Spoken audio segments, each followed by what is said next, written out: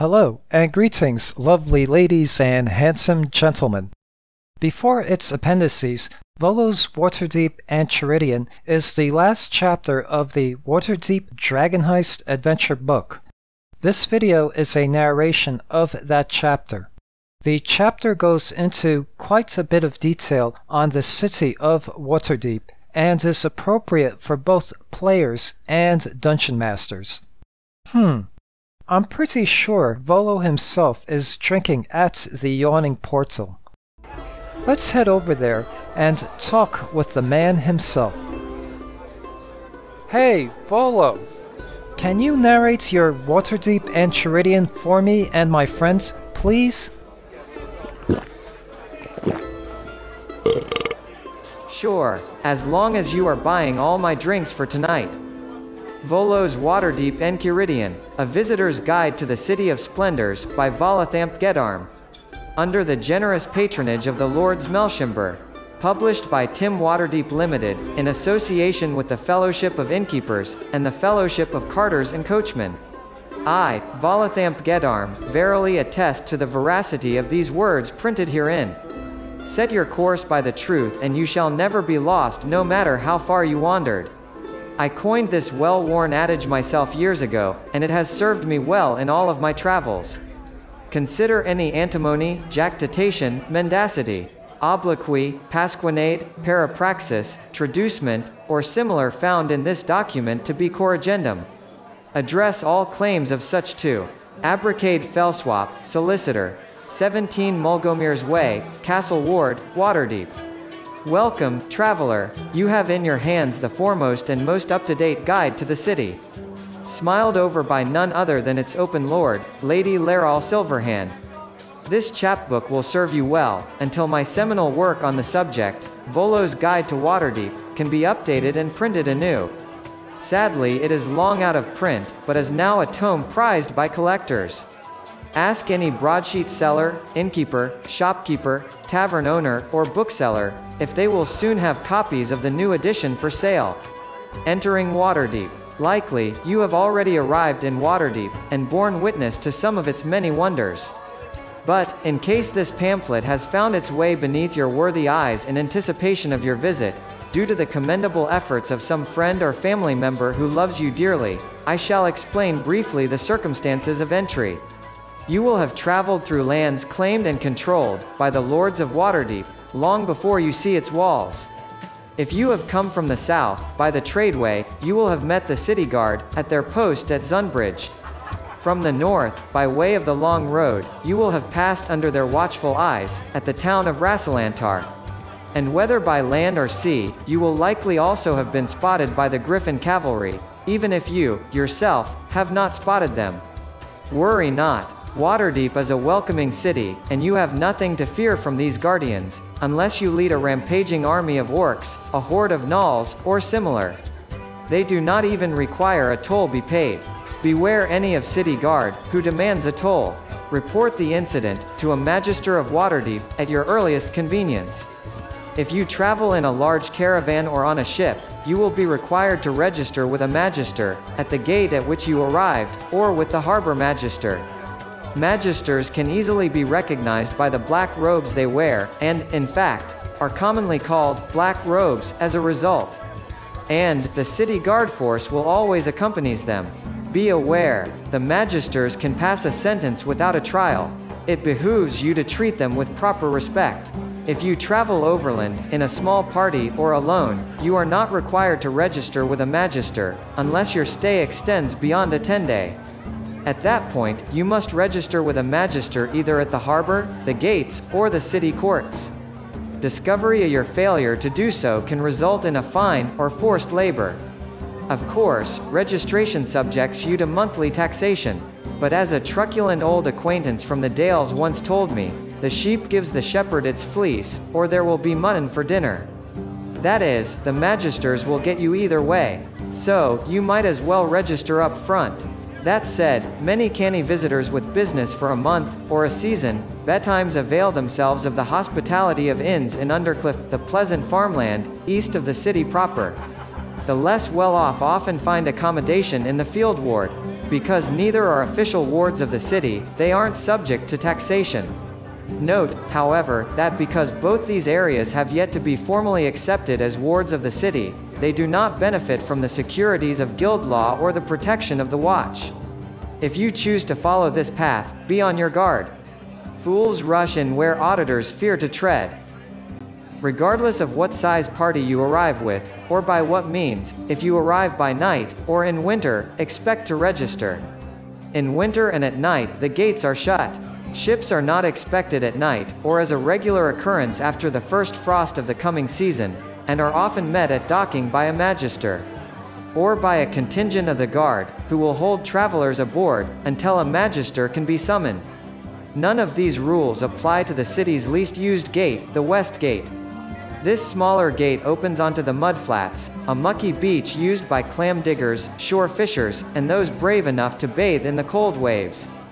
Those who make a living through fishing with nets or traps also use this gate, keeping their small boats on the beach to avoid docking fees. Locals register with the guard as they exit and as they enter. No magister is stationed at the gate, but no new arrivals to Waterdeep are accepted here. If you approach by air, expect a vigorous pursuit by and confrontation with the Griffin cavalry. Only specially licensed individuals and mounts can fly over Waterdeep. It is best to land well outside the city, and approach on foot. Your arrival in the city. The splendors that await you in Waterdeep are legendary.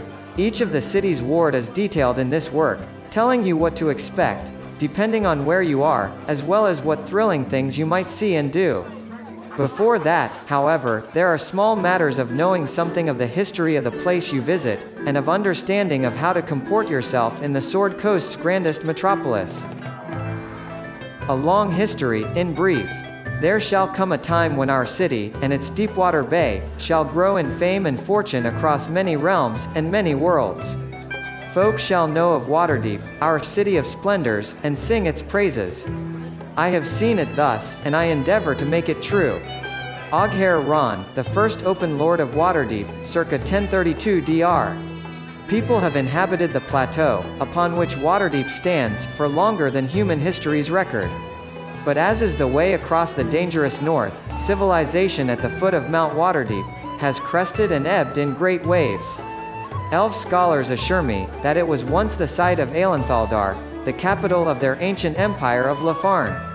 So it was already a glorious place, when a dwarf prospector, named Melair, discovered Mithril beneath the mountain. In agreement with the Illefarni, Melair called kith and kin, to mine under the mountain, and in the plateau. And thus Clan Melairkin came to rule below, as the Illefarni did above. But this fruitful alliance lasted less than the lifetime of a dwarf. For the Emperor of the Elves, what they call a coronal, commanded that all elves leave in the retreat, that great exodus of elves from Faerun, to their mystical isle of Evermeet. Not all elves agreed with this edict, and many were determined to stay. Well, what emperor has ever willingly allowed another to sit in his throne? The coronal had all of Aelinthaldaar, raised by magic, and the remaining elves splintered into separate kingdoms. The Melairkin, of course, saw this as a breaking of their bargain, and never again did they deal with elves. Instead, they tunneled ever deeper under the mountain, never to be heard from again. So it was that the humans, who came to the Deepwater Harbor, found it empty and suitable for their own purposes. For more than a thousand years, folk lived and traded at the site of what would become Waterdeep, but their identities remain a mystery, with a curious exception. We know that at some point during this period, the wizard Halaster Blackcloak built his tower at the base of Mount Waterdeep, and came to rule the lands around. Until he, like the Melairkin, vanished under the mountain. Various warlords later claimed the plateau's harbor as their own, but it was one known as Nimoar, who is best remembered. A History of Waterdeep. Age 1, The Rise of the Warlord, records how Nimoar raised a wooden stockade, to protect the settlement around the harbor, claiming rule over the town, that by then was being called Nimoar's Hold, the town of Waters Deep. War between orcs and elves in lands farther north drove hordes of trolls south to claw at the fledgling city, and amid this danger, Nimoar died of old age. Many bloody struggles unfolded between local folk and trolls, until the magic of a youth named Ahghairon turned the fortunes of war against the Everlasting Ones, which were destroyed or scattered. Ahghairon improved slowly in skill and power with the passage of the years, until he became a great mage. He is said to have discovered a supply of potions of longevity, or learned the art of making such, for he lived on and on, still physically in his prime for decade after decade. A History of Waterdeep. Age 2, The Lord's Rule begins, records that in the year 1032 Dr. Ahghairon, then in his 112th winter, argued with Raurlor, who was then warlord of Waterdeep. Raurlor wanted to use Waterdeep's acquired wealth and strength of arms, to create a northern empire. Ahghairon defied him before all the people, and Raurlor ordered the mage to be chained. But when Ahghairon magically turned aside all who sought to lay hands on him, Raurlor struck at the mage with his own sword. Ahghairon then rose into the air, just out of reach, and used his magic to transmute Raurlor's blade into a hissing serpent. When the serpent struck Raurlor, he died in full view of his shocked followers. Ahghairon then gathered the leaders of Waterdeep's armies and powerful families. While runners sought to bring them to the castle, Flames roared and crackled in the empty warlord's throne at Ahghairon's bidding, so that none could sit there. Then, when the gathered host of worthies met in the audience chamber, the wizard seated himself on the flaming throne. Immediately the fires died away, leaving both the throne and Ahghairon unharmed. From this seat, the very one on which the open lord sits to this day, Ahghairon decreed how the city would be governed. While he would sit as lord openly, a council of other lords of nearly equal power would rule with him. But the identity of those other lords would be hidden even from each other, thus, preventing any of them from being approached and influenced by bribe or threat. So it was that Ahghairon established Waterdeep's system of governance. Ahghairon was instrumental in establishing many of Waterdeep's other institutions, such as its black-robed magisters, its griffin cavalry, and the city's many guilds. The first Open Lord ruled wisely for over two centuries, before the magic sustaining his health failed. He now lies entombed in his tower, which you can still see standing in the courtyard of the Palace of Waterdeep. Beware that you don't approach too close, however, lest you stumble into the invisible barrier. A force cage, so I am told, that surrounds the tower. Within that barrier, lie additional protective wards, as demonstrated by the floating bones of the last person, who tried to defy them. The name of this poor soul, has been lost to time, but the miscreant was likely a wizard, who sought to steal the magic treasures, that had been entombed with their former owner. Now they hang in the air, beyond the invisible force cage, in rough semblance of their natural position, occasionally displaced temporarily by strong winds, or mischievous children with long sticks. Ahghairon's wise rule is celebrated on the first day of Eleasis, which has come to be known as Ahghairon's Day.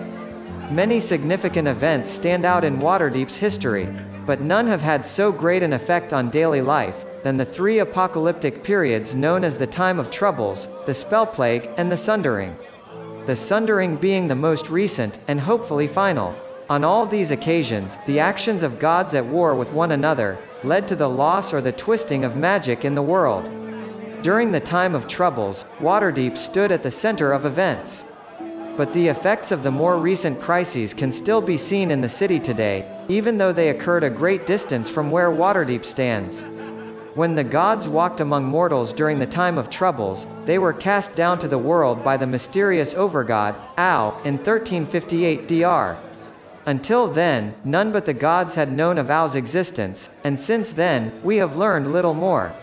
As all know, the crisis began with the theft of the Tablets of Fate, by the vile and ambitious gods, Bane and Myrkul, later joined by Baal. These mystic artifacts supposedly determine the extent of the god's power, and dictate how they use that power.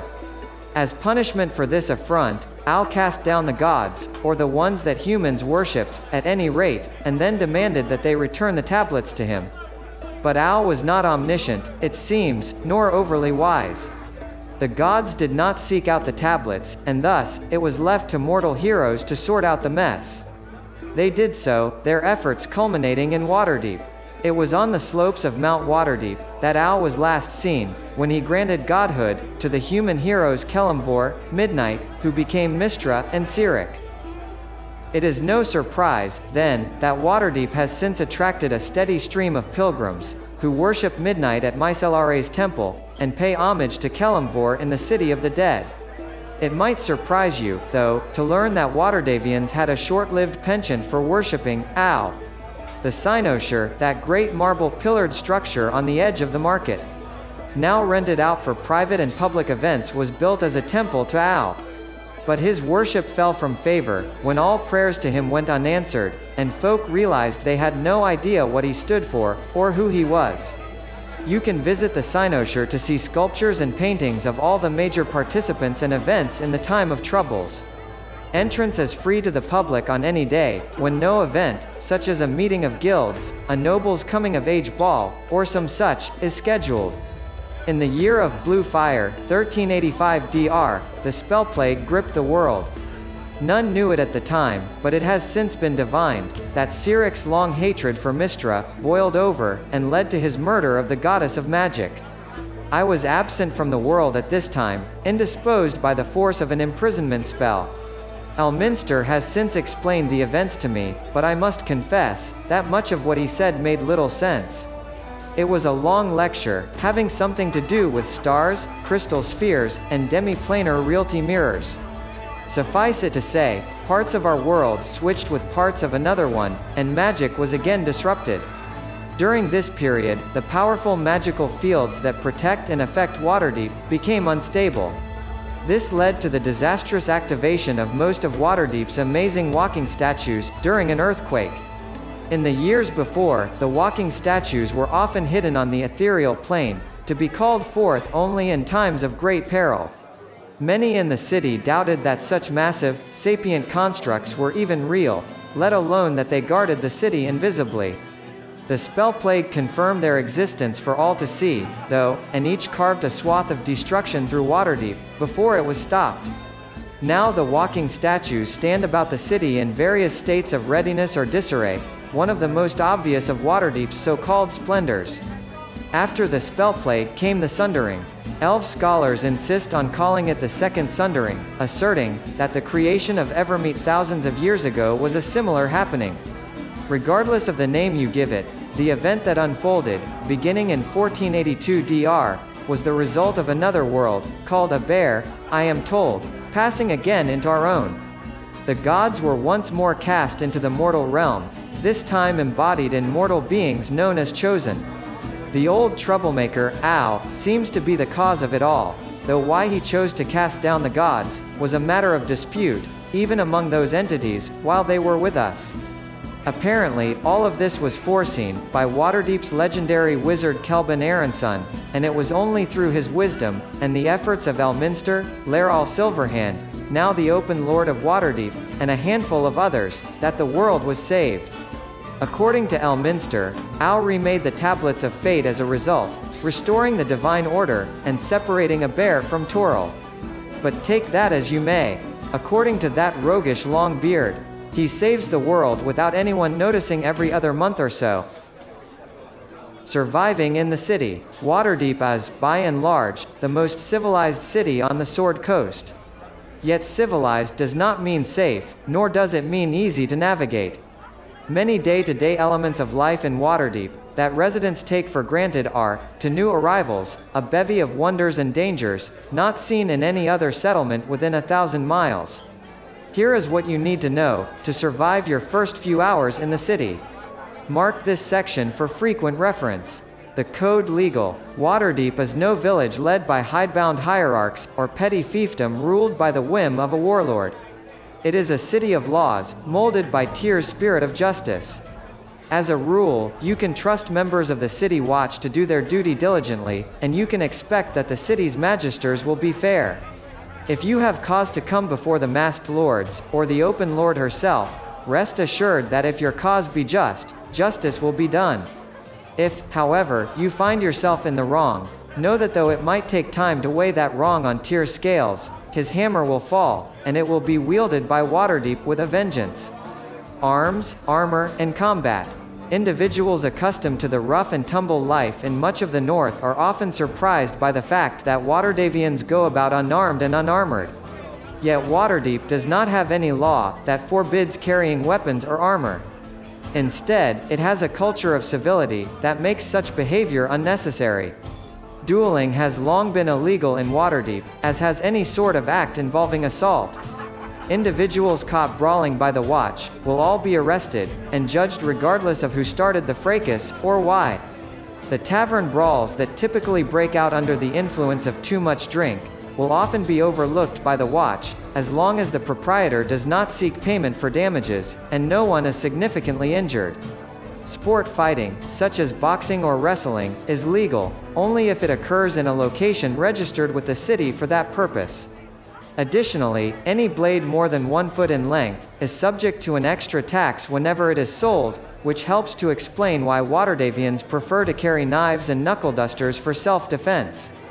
Businesses and individuals do employ armed guards, but except for nobles or foreign envoys, few people travel about the city with such protection.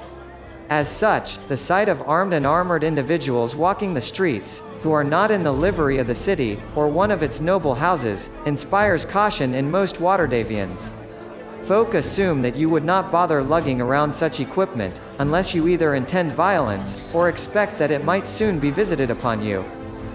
City Watch. The first soldiers you see in service to the city, will be the members of the City Guard, who patrol the roads leading to Waterdeep, watch the walls, guard civic structures, and protect magisters. Waterdeep's streets, however, are policed by an altogether different force, the City Watch.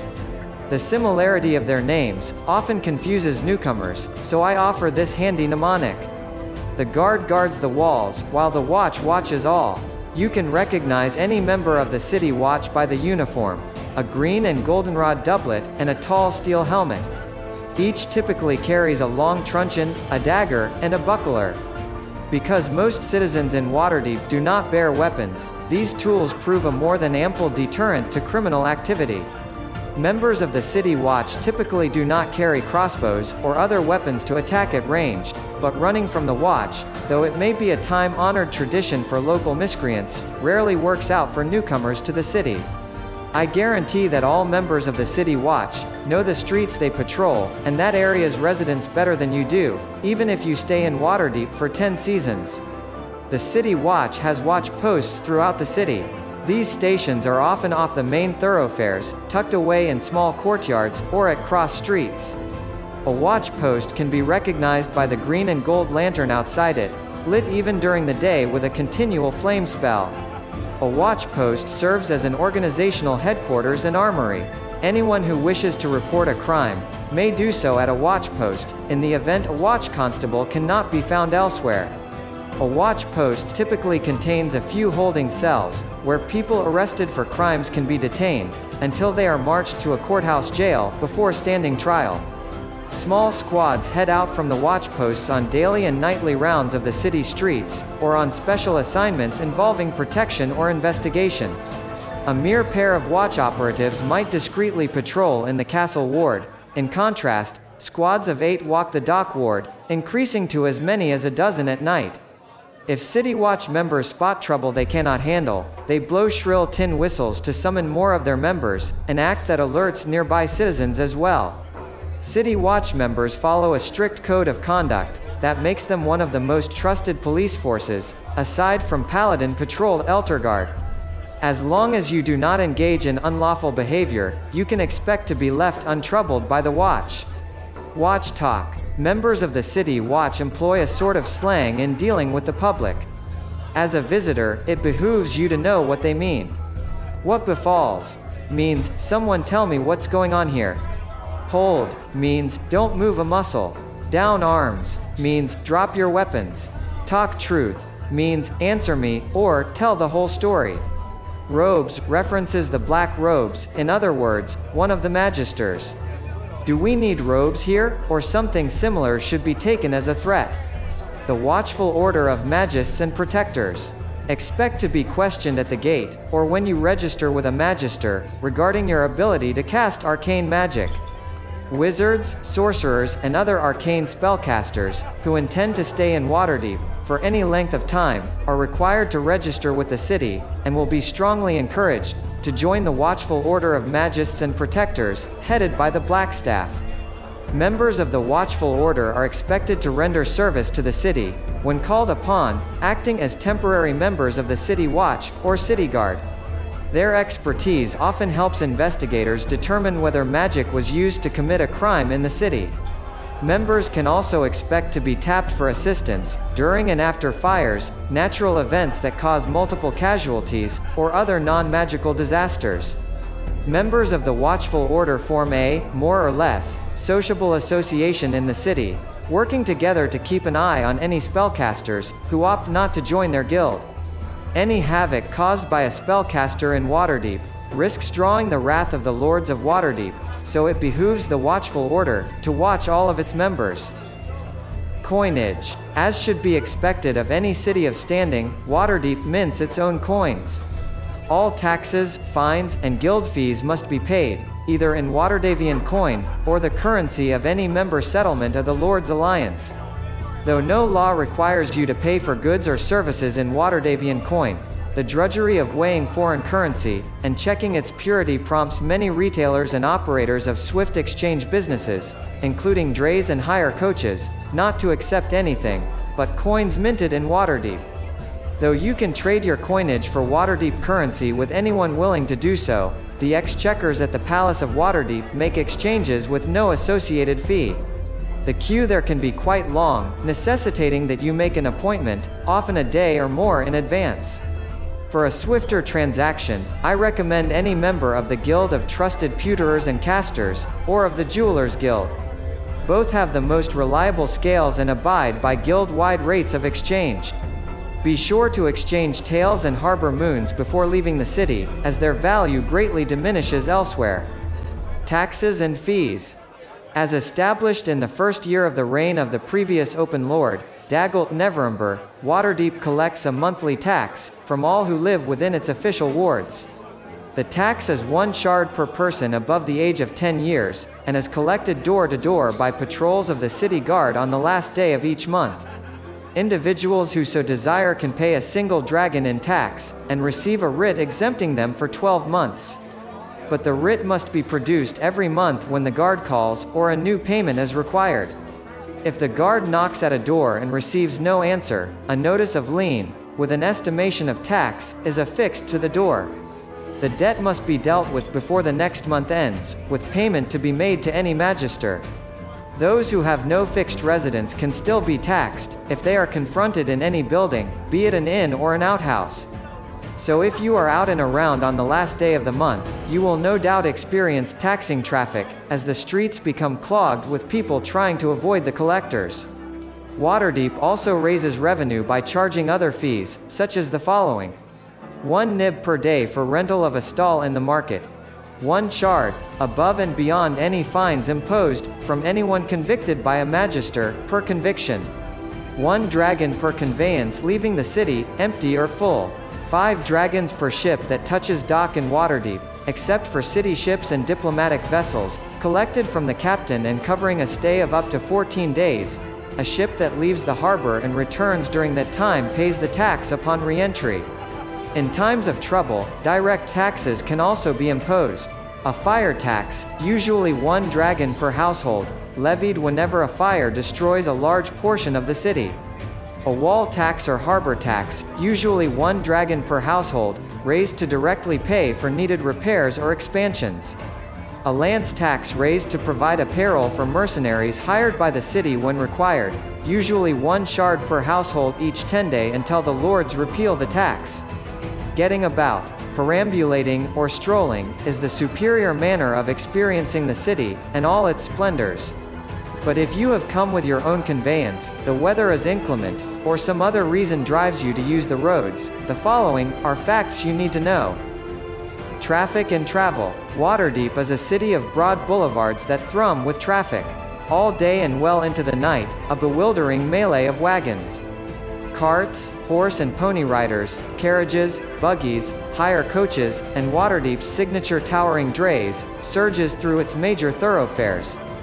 Fortunately, most roads are flanked by paved sidewalks that give pedestrians plenty of space, and most of the widest roads have raised dividers, that allow an individual crossing a street a safe space to step out of the fray, and wait for traffic to pass. The city's centuries-old layout dictates its traffic patterns today. Waterdeep lies on a plateau adjacent to a long mountain, that shields much of it from the sea. In the southern third of the city, where the land slopes up from the harbor, the High Road and the Way of the Dragon are the two main south-north roads. These converge both at the Weymouth near the southern gate, and in the heart of the Trades Ward where the city is at its narrowest, bounded by Castle Waterdeep, high on a spur of the mountain, and the walls of the City of the Dead. The conjoined boulevard then splits to the north, continuing as the High Road, and to the west as a boulevard called Waterdeep Way, heading toward the Palace of Waterdeep, not to be confused with Waterdeep Castle, which it passes hard by. In the middle of the city, six boulevards run north from Waterdeep Way, where they meet the road that encircles the market. On the other side of the market, five boulevards continue north. The aforementioned boulevards, along with the Street of the Singing Dolphin in the Seaward, are the major arteries of the city. Hire coaches and drays can be most frequently found on those streets, and traffic is at its most hectic there. Most other roads in the city run east to west, but regardless of their direction, traffic elsewhere is generally less hectic, and thus, safer to cross.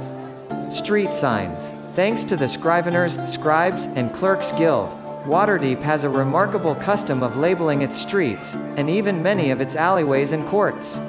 The method of identification varies by ward and neighborhood, including brass plates, carvings in stone, and stencil-painted wooden signs but street names are typically displayed on the corners of buildings at intersections, roughly a dozen feet above ground. The name of the road you travel on will be on the wall nearest, while the name of the crossing road will be around the corner. Simply ingenious. Landmarks. Proud Mount Waterdeep provides a useful landmark for general orientation. It stands stark across the skyline to the west, its far slopes dropping right into the sea.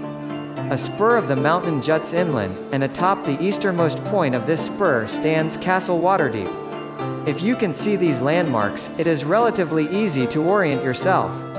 The mountain peak looms over the southern third of the city, near the port in the south. The City of the Dead lies opposite the northern ridge of Mount Waterdeep, which descends down to the Field of Triumph, the city's great coliseum. One of Waterdeep's titanic walking statues, no longer mobile, offers another way to orient yourself on a local scale. At nine stories tall, twice the height of any buildings nearby, the Honorable Knight stands guard, in a block of buildings between Snail Street and the Way of the Dragon. Positioned, as it is nigh the place where four wards meet, you can use it to judge where you stand. If it is south and west of your position, you are in the Trades Ward. North and west? the Southern Ward, South and East, the Castle Ward, North and East, you are in the Dock Ward. Traffic wardens. During particularly heavy traffic and at congested areas such as the Great Oval Road around the market, you might see a member of the City Watch serving as a traffic warden.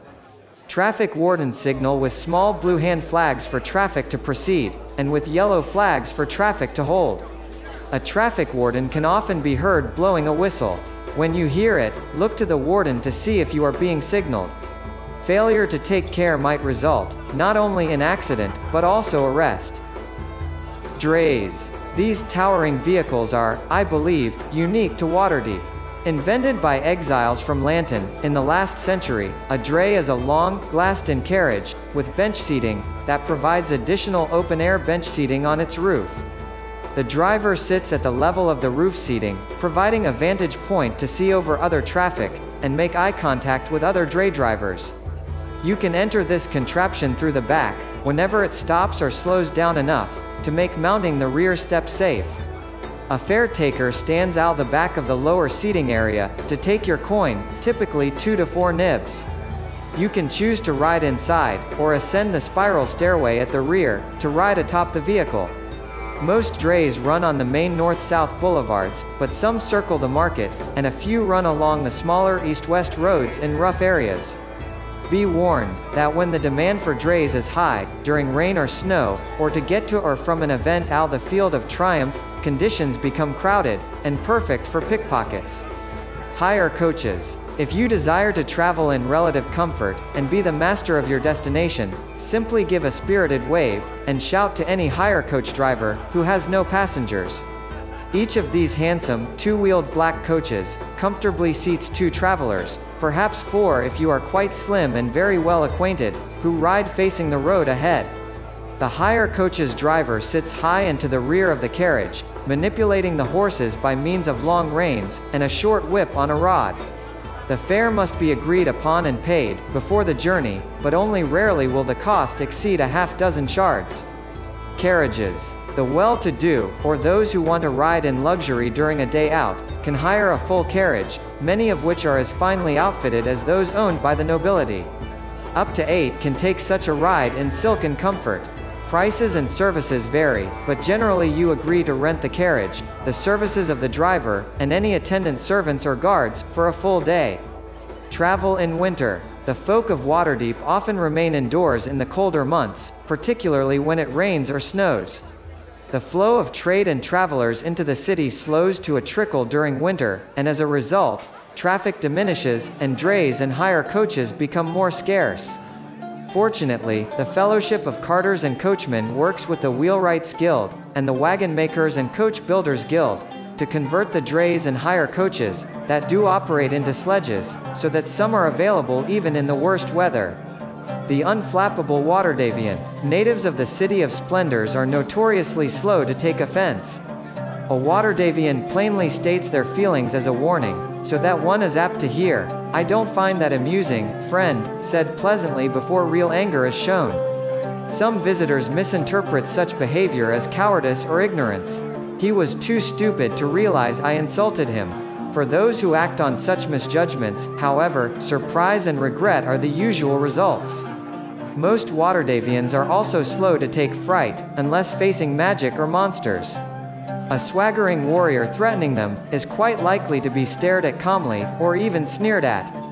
The only mortals that Waterdhavians fear, are a few unstable wizards, and the lords, Durnan often says, to those who are surprised by the nonchalance of the yawning portal's regulars, concerning the open entrance to Undermountain in their midst.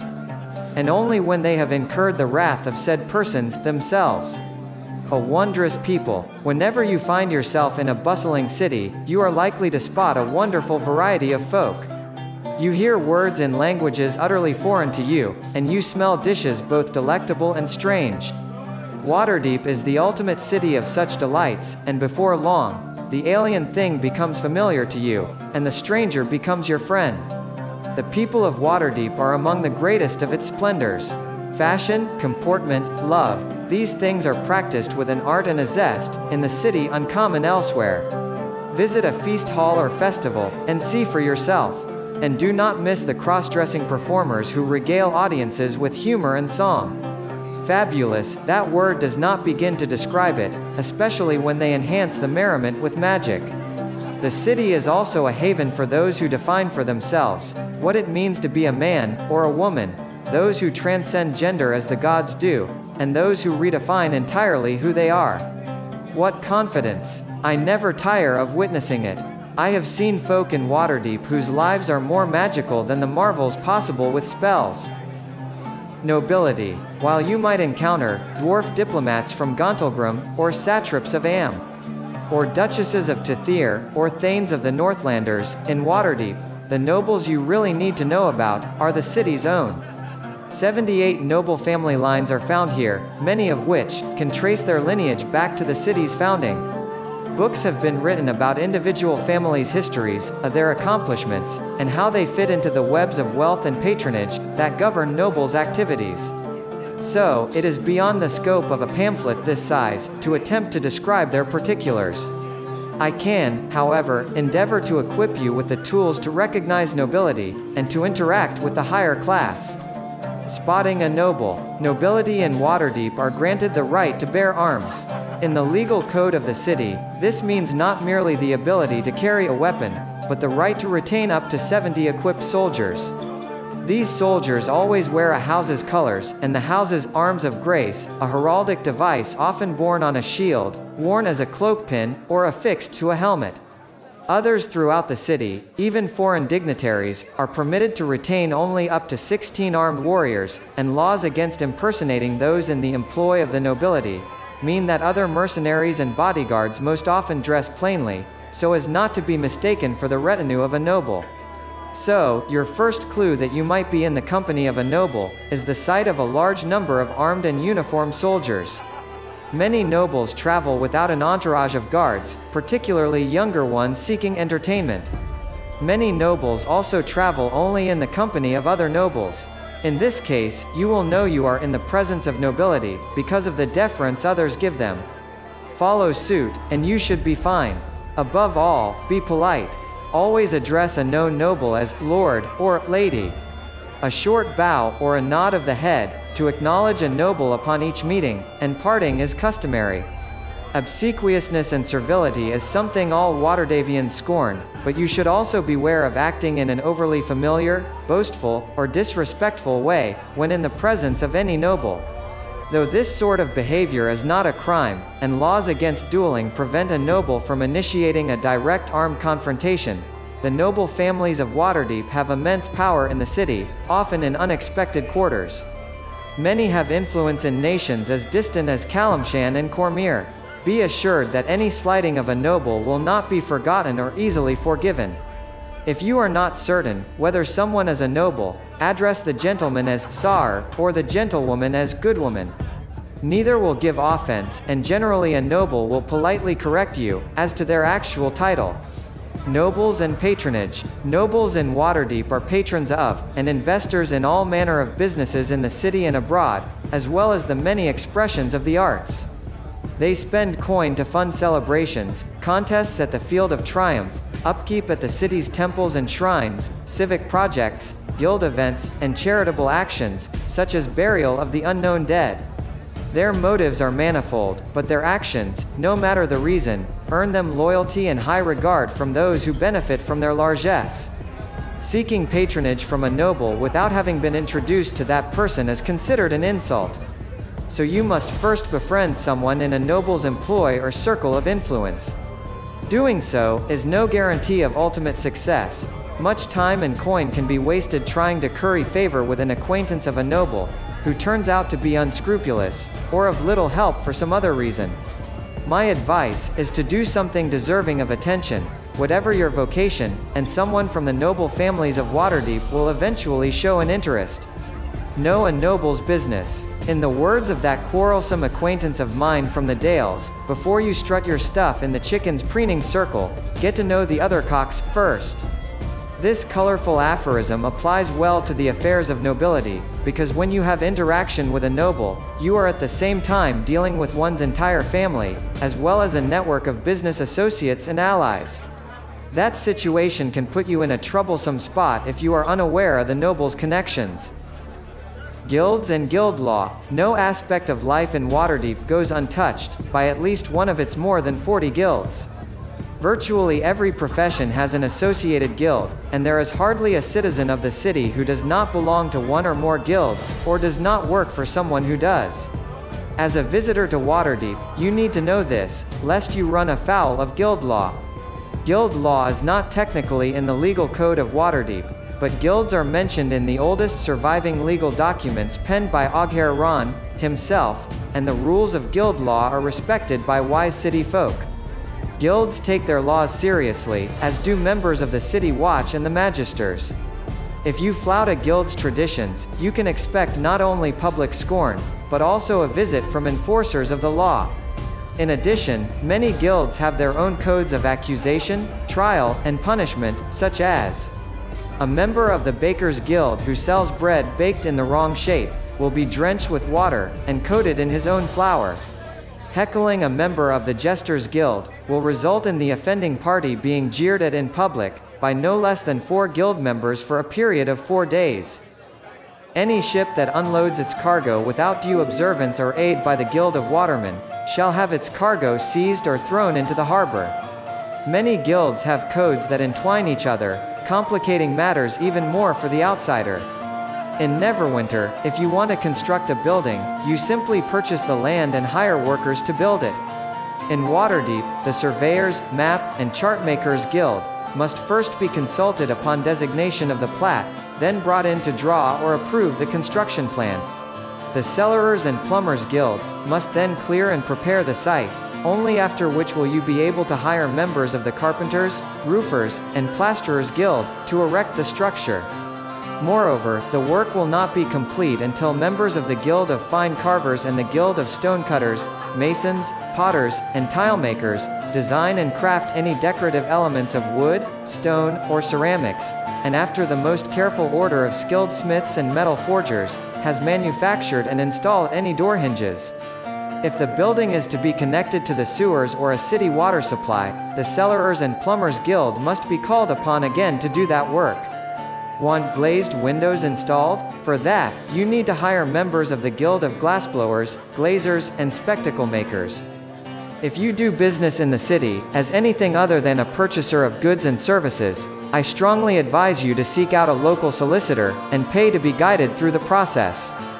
No guild of solicitors exists, so be sure your choice comes highly recommended by individuals you can trust. To learn the peculiarities of any guild's rules, consult someone on duty at the guild headquarters, or ask a senior guild member. All that said, working at a guild-related profession, without being a member of that guild, is not illegal. Guild members have no lawful recourse to interfere in the business of someone who chooses to not join the organization. But if you practice a trade, or operate a business, without becoming a member of the appropriate guild, word spreads, and you will find that your coin is not good for purchasing the goods or services of anyone who is a guild member. Since that group includes virtually everyone who sells the necessities of life, or offers shelter for a fee, the benefits of joining a guild swiftly become apparent to those who procrastinate in this regard. The major temples of Waterdeep. All deities can be worshipped at the Holy Hands House, located in the North Ward. All elven deities can be worshipped at the Temple of the Seldarine, in the Castle Ward. Gond can be worshipped at the House of Inspired Hands, in the Sea Ward. Helm can be worshipped at the Helms Hall, in the Southern Ward. Ilmater can be worshipped at the Hospice of St. Laupsenn, in the North Ward. Lathander can be worshipped at the Spires of the Morning, in the Castle Ward. Ogma can be worshipped at the Font of Knowledge, in the Castle Ward. Tempus can be worshipped at the House of Heroes, in the Sea Ward. Tyr can be worshipped at the Halls of Justice, in the Castle Ward. Mielikki and Silvanus can be worshipped at the Shrines of Nature, in the Sea Ward. Mystra can be worshipped at the House of Wonder, in the Sea Ward. Sune can be worshipped at the Temple of Beauty, in the Sea Ward. Tymora can be worshipped at the Tower of Luck, in the Castle Ward. Selûne can be worshipped at the Tower of the Moon, in the Sea Ward. Umberlee can be worshipped at the Queenspire, on Waterdeep's beach. The Wards of Waterdeep. Newcomers to the city of Waterdeep are often confused by the importance that Waterdhavians give to wards. In other cities, such as Baldur's Gate and Neverwinter, districts are bounded by rivers or walls. But in Waterdeep, one can traverse from ward to ward, by crossing a street, a fact that offers the drivers of hire coaches some amusement, when an ignorant tourist requests a ride to an adjacent ward. Each ward has its own history, legends, and traditions, based around who lived there in the past, famous or infamous events, and the uncanny things that continue to occur. For example, children, and even some adults, hop on one foot, when crossing Asma's Alley, in the Castle Ward. Why? Well, Asma was an apothecary, who poisoned many patients, then buried them upright beneath the alley, under cover of night. He was discovered, and some say that as many as 80 bodies were subsequently pulled up from holes, under the alley's wide flagstones. Though this happened over a century ago, children passing through the alley still sing a song, Hop for the hollows, hop for the dead, hop on the flagstones, hop on their heads. As you stroll down Warrior's Way or the Street of Silver, listen for the children's delighted screams and go give it a try. These shared stories and traditions impart to each ward a different culture, just as much as distinctions of class and wealth. Yet nothing drives residents to identify with their wards, as much as festivals and sport. Nearly every race and parade in the city features a competition between wards, as part of the festivities. On such days, homes and businesses fly the colors of their wards, trot out their mascots, and sing rousing songs that celebrate where they live. If you stay in the city for even a month, you are sure to see some version of this display of civic spirit. Sea Ward. The Sea Ward stands proud on the high ground above Mount Waterdeep's sunset shadow. The rich and the powerful, or those who wish you to think such of them, and can afford the rent, reside or run their businesses here. When the warlords and pirates of early waters deep gained enough gold, they built fortresses on what used to be fields of grass, tousled by sea wind. You can still see the remains of some of those old castles incorporated into the palatial homes of the noble families that dwell in the seaward. For the best all-around view of the glittering homes, enshrouded by garden walls, go to where Diamond Street and Delzorin Street cross, nigh to Mystra's House of Wonder, and simply spin in a circle. Blue and gold are the Sea Ward's colors in competitions, and the ward's mascot is the sea lion, a fanciful combination of fish and feline. There is a persistent, but patently false legend that the famous Lion Gate at the Field of Triumph is the gaping maw of a sea lion. The architectural designs for the gates show this to be false, however, and they can be viewed in the Map House, which is the Guildhall of the Surveyors, Map, and Chartmakers Guild in the Castle Ward. Must-see locations in the Sea Ward begin, of course, with the Field of Triumph, but just across the street, is the no less remarkable House of Heroes, the largest temple in the city. Dedicated to Tempus, its many grand halls celebrate the city's champions, of both battle and sport. The winners of ward competitions are paraded here, after their victories, often carried on shoulders, or passed from hand to hand over the heads of a crowd. It is a sight you should not miss. You should also visit the House of Wonder, this is surely the most splendid temple dedicated to the gods of magic, with Mystra foremost among them, of course in all the world. Although your eye will be drawn to its ornate towers, brilliant mosaics, and magical displays, look also for the humble violets growing amid the ostentation. These delicate flowers were Ahghairon's favorite, and they are planted about the temple in memory of him. Two other temples in the ward are as impressive, but in different ways. The beauteous House of the Moon has the tallest tower of any temple in the city, rising some 75 feet above the street. At its top, priests of Selûne bask in the light of the moon in all seasons. The House of Inspired Hands, dedicated to Gond, presents an altogether less peaceful experience. Here, all the great innovative minds of the city invent and experiment, attempting to create everything from flying machines to stronger door hinges. But do not expect a museum of marvels, such as can be found in Baldur's Gate. At this site, worship is work, as anyone at the temple is liable to tell you. If you are looking for some good fortune, you should surely visit the Tower of Luck, a temple complex dedicated to Tymora. The tower in question is actually a many-pillared atrium, ingeniously roofed over with glass. Beneath the roof, a bronze sculpture of a diminutive Tymora, depicted as a laughing young girl, appears to be leaping from the very top of an astounding fountain.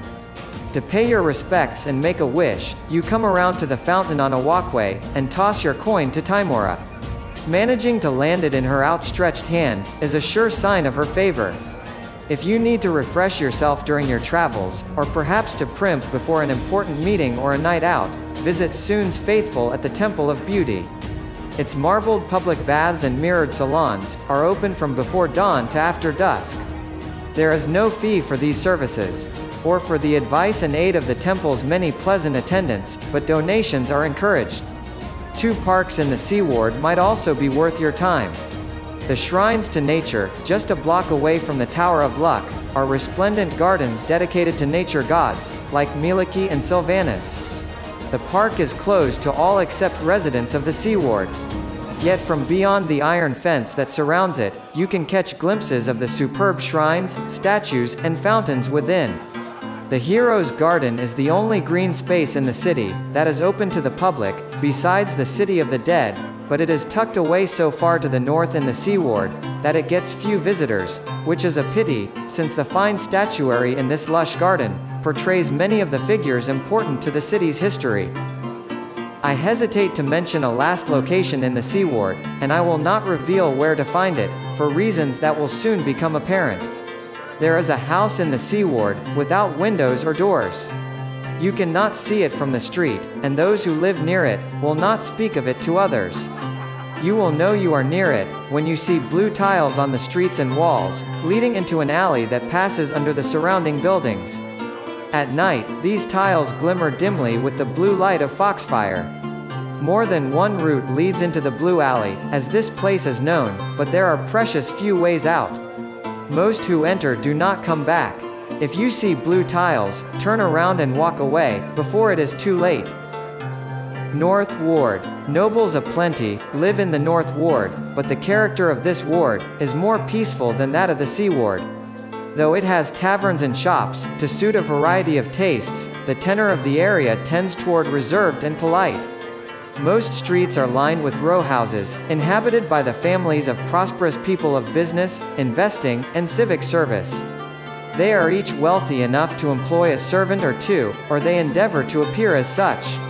For the best experience in the North Ward, go there just before dawn, buy a broadsheet, and settle in at a cafe with a view of the street. Watch as the ward comes quietly to life around you. At first, it will be so silent, that you will be able to hear the resident a street over, who opens her sash for fresh air and clears her throat. Then the birdsong will begin, and shortly thereafter, you will hear and then see the drays arriving with servants. These are not the live-in staff used by noble houses, but people hired to come and work for a day. Most of them come from less affluent parts of the city, arriving with the tools of their trade, and outfitted in their customary garb. Launderers and cooks in white, chimney sweeps and house cleaners in black, valets and childminders in gray, gardeners in green, and tutors in blue. As these servants spread out to knock on doors and begin their work, the residents of the ward take their exits, parting fondly with spouses and children, their footsteps tramping along the sidewalks, or taking them into rattling hire coaches. In the span of just an hour, the North Ward comes to noisy life, and then settles again into quiescence, until later in the day, when the process reverses itself, as residents return from work and servants leave. The liveliest, and perhaps the loveliest, part of the ward is the cliff watch. Here, the plateau upon which Waterdeep sits, features cliffs so steep and high, that the city wall is interrupted to either side of them. Some of the most lavish residences, and most luxurious taverns and inns of Waterdeep, stand along this space, boasting terraces and balconies that allow one to take in the beautiful sight of the countryside to the east. Yet you need not pay their high prices, for a public walkway along the cliff's edge, offers pedestrians ample opportunity to enjoy the view. The North Ward's color S are green and orange, and its mascot is the gentle white dove, depicted in flight. Many North Ward homes have dovecotes on their roofs, and the great flocks of the birds that circle over the city at dawn and dusk, are a delight to behold. Castle Ward. The Castle Ward is the heart and mind of Waterdeep, if not its soul. It houses the city's military forces, courts, government, and the market, the largest market square of any city in the north.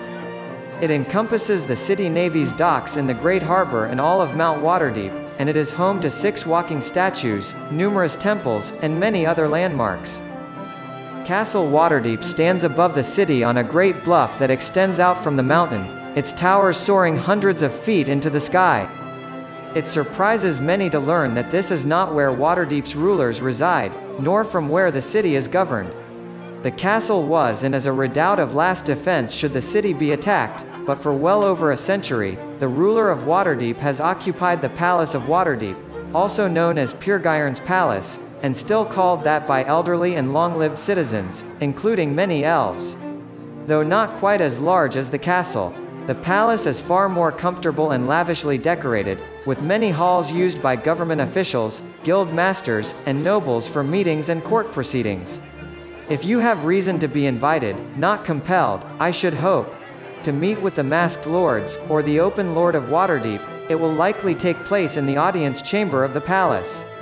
There, you can witness the ancient and humble throne, that Ahghairon first sat upon so long ago. Many other buildings in the ward are given over to city business, including several courts for magisters and the barracks of the city guard. So many of the ward's structures are offices and meeting halls for business owners, solicitors, publishers, and the like, that the Castle Ward has the smallest resident population of all the wards. Many landmarks of interest are found in this ward, aside from the six walking statues, discussed later in this chapbook. You could hardly see them all in a day, but the following are highly recommended. Blackstaff Tower is a squat black blot in the otherwise pretty ward. Humble though the edifice might be, looking at the place for too long, can give you a queasy feeling, and the sense that you are being watched, almost as if the tower itself has turned an unseen and wrathful eye upon you. Perhaps you think this fanciful. Well, go and try it yourself. On the opposite end of the mountain, close to the naval harbor, stands Mirt's mansion. Once a fortress-like in glowering tower, it has been upgraded with more delicate fashions of architecture, since the return of its long-absent owner. Mirt has quite a history with Durnan, the proprietor of the Yawning Portal. Together they descended into the well, as the entrance to Undermountain was known in the olden days. Waterdeep used to throw criminals in the well, leaving them to die horribly in Undermountain's dungeons. Durnan and Mirt entered the dungeons of their own free will, and not only that, but they returned laden with treasures. Both used magic to extend their lives, but they eventually parted ways. Mirt kept on with a life of adventure while Durnan built the tavern called the Yawning Portal over the well and now, almost two centuries later, charges coin to descend into it. Not a bad way to part fools from their money. The glorious spires of the morning, dedicated to Lathander, is one of Waterdeep's most beautiful temples. But it is rivaled in this ward by the Temple of the Seldarine, dedicated to all the elf gods. The journey through Mount Melody Walk, a tunnel cut through Mount Waterdeep, to New Olamn's Academy of Music and Other Arts, is a wondrous daytime excursion. The market offers a wild array of sights, smells, and sounds in which folk might lose themselves for a 10-day. The Font of Knowledge is a temple to Ogma, yes, but also the city's largest public library. Titles written throughout the ages can be viewed here, under the watchful eyes of the temple's priests. In short, if I can claim this section of the Enchiridion to be such, the Castle Ward offers far too many splendors to list them all here. The Castle Ward's colors are blue and purple, and its mascot is a griffin, typically depicted in gold. These borrow colors from the city's flag, and reference the Griffin Cavalry, of course. Champions for the ward, often come from among the ranks of the Guard, the Navy, or the Cavalry. Although such competitors have often have the advantage in races and competitions, their crowds of rapidly cheering fans are naturally much smaller than those of other wards. Trades Ward. Shopping, shopping, shopping galore. Or eating, eating, eating. Or drinking, drinking, drinking. Or lavish accommodations, or fine art, or legendary parties.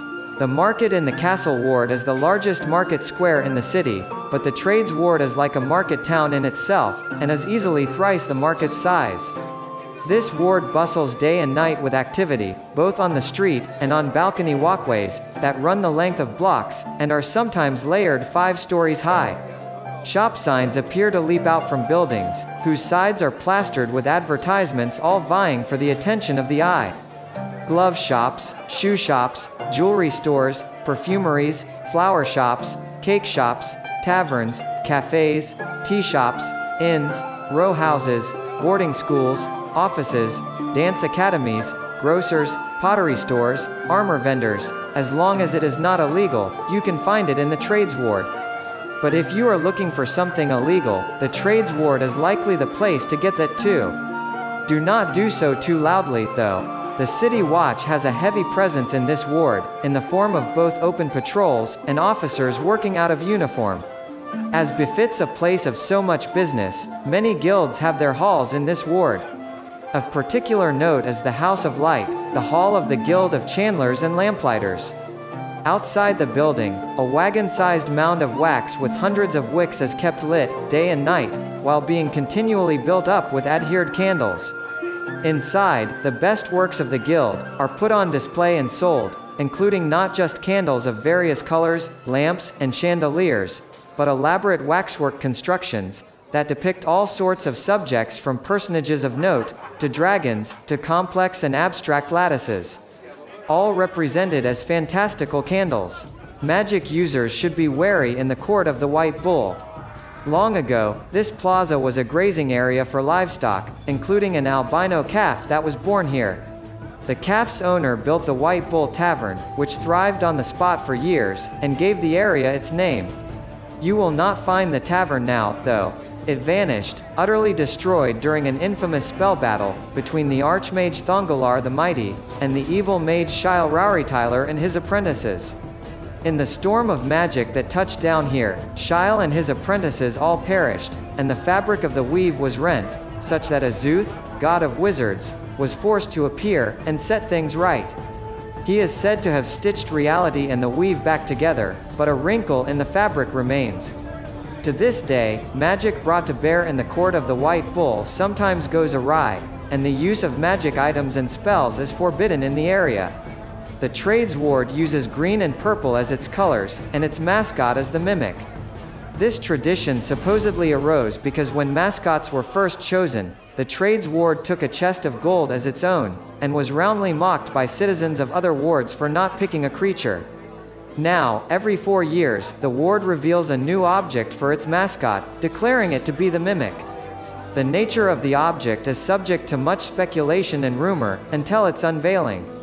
For months afterward, the object becomes the source of practical jokes in Waterdeep. Rock gnomes and wizards cause illusory mouths to lunge from real versions of the object. Artisans craft beautiful fakes out of cake or paper that are easily crushed when assumed to be real, and so on. As of the writing of this Enchiridion, the current mimic is a tankard. The Southern Ward. It is called the Southern Ward, not the South Ward. Waterdhavians are peculiar about this, and if you insist on referring to it as the South Ward, expect to be corrected, or thought a fool. The name derives not merely from its southerly location in the city, but from the Southerners, who settled in this district as the city grew. Today, the ward still hosts most of the traveling merchants, who visit the city, and is made up of many enclaves, blocks, and streets primarily occupied by citizens, who trace their ancestry to other realms. One can indulge in the finest halfling food here, enjoy the best singers of Calishite music, and examine the most stunning works of dwarven crafting. But the first challenge is finding where these treats are housed. The Southern Ward has long been a district of laborers catering to travelers, so its folk have adopted the architectural custom of building homes and businesses, above stables or around inn yards, near to where wagon trains are housed. Residents of the Southern Ward take pride in their legacy as overland travelers, and hard-working folk, so it should be no surprise that the ward's mascot is the mule. On their competition flags, a pugnacious mule in rampant pose stands on a field of red and white colors, said to represent the blood and tears the people of the Southern Ward have shed during their labors.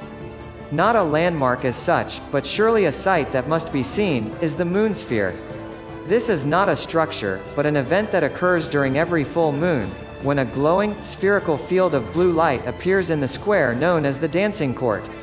Any creatures that enter the sphere, find that they can fly about inside it just by willing themselves to do so. For centuries, Waterdhavians have used these supernatural events to develop a unique flying style of dance, but amateur enthusiasts are not welcome, except on certain daylight appearances of the full moon. Even when the full moon is not out, the dancing court is worth visiting because of the adjacent feast hall, the Jade Dancer. During appearances of the Moonsphere, people sometimes daringly leap into the field of magic from the balconies of this three-story tavern, dance hall, and inn. But the feast hall takes its name from a peculiar dancer within it, rather than those in the court outside. The Jade Dancer is an 8-foot tall jade statue of a woman, that magically animates and dances for patrons, and on occasion serves as a bouncer. Elminster has informed me that despite its dexterity and seemingly fragile beauty, the jade dancer is as puissant as a stone golem. So enjoy the show, but do not get too rowdy. The Wonders of the Weymouth. The place where the High Road and the Way of the Dragon meet in the south of the city is called the Weymouth. At the center of the crossroads, a high signpost stands, with hanging arrows pointing toward the harbor, and each of the city gates. Created by the Watchful Order of Magists and Protectors, and funded by local merchants, the signpost magically directs travelers to well-known distant locations, when the names of those locations are spoken into a crystal on the post. The magic of the Weymouth writes the destination onto the proper arrow of the signpost, and indicates its distance from Waterdeep in miles. Folk are thereby sent out of the harbor, or the appropriate gate leading north, east, or south, depending on their destination. Unfortunately for newcomers, the Weymouth is of no use whatsoever in finding locations within Waterdeep. You will, however, find a number of enterprising individuals near the crossroads, who take advantage of this fact to offer their services as city guides. Though some reputable members of this cadre will guide you true for a fair fee, plenty of citizens with nothing to lose or gain by doing so will also readily set you on the right course if you are simply polite. Dock Ward. The Dock Ward was long considered the most dangerous district in the city, but the Field Ward has since taken that title. I do not doubt the residents of the Dock Ward are glad of it, for in some respects, this area has never truly deserved its bad reputation. Yes, aside from the Field Ward, this is the area where most of Waterdeep's poor reside. Yes, it is home to some of the least literate people in the city. Yes, most of its taverns are inhabited by habitual drinkers, and far too many inns charge by the hour. But all must concede this. The residents of the dock ward often work the hardest, while living under the harshest conditions. Warehouses, poorhouses, and tenements dominate much of the area. Streets are steep throughout, and few have space alongside for pedestrians. Wandering through the ward can be a bewildering journey without a guide. Except in the immediate vicinity of the piers, shop signs and advertising of any kind are rare. And warehouses and other businesses often have no sign at all. You either know where you are going, and have reason to be there, or you are lost, and a likely mark for pickpockets or worse. Street lamps do not fare well in the dock ward. Their candles, oils, and glass are too regularly stolen, or smashed. The Guild of Chandlers and Lamplighters makes a half-hearted attempt to repair the street lamps at the start of each season, but for most of the year, locals are forced to carry their own light, when traveling these streets at night.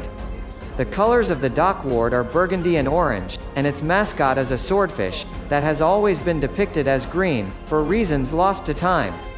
The folk of the dock ward take competition seriously, and they frequently draft their champions from the rough and tumble sailors, who come to the city. Some say they draft pirates, but that is pure slander. Frequent complaints arise, that these women and men are more citizens of the sea, than of the dock ward itself. But if they register with a magister and pay taxes, they are as welcome to compete as any long-term resident of Waterdeep.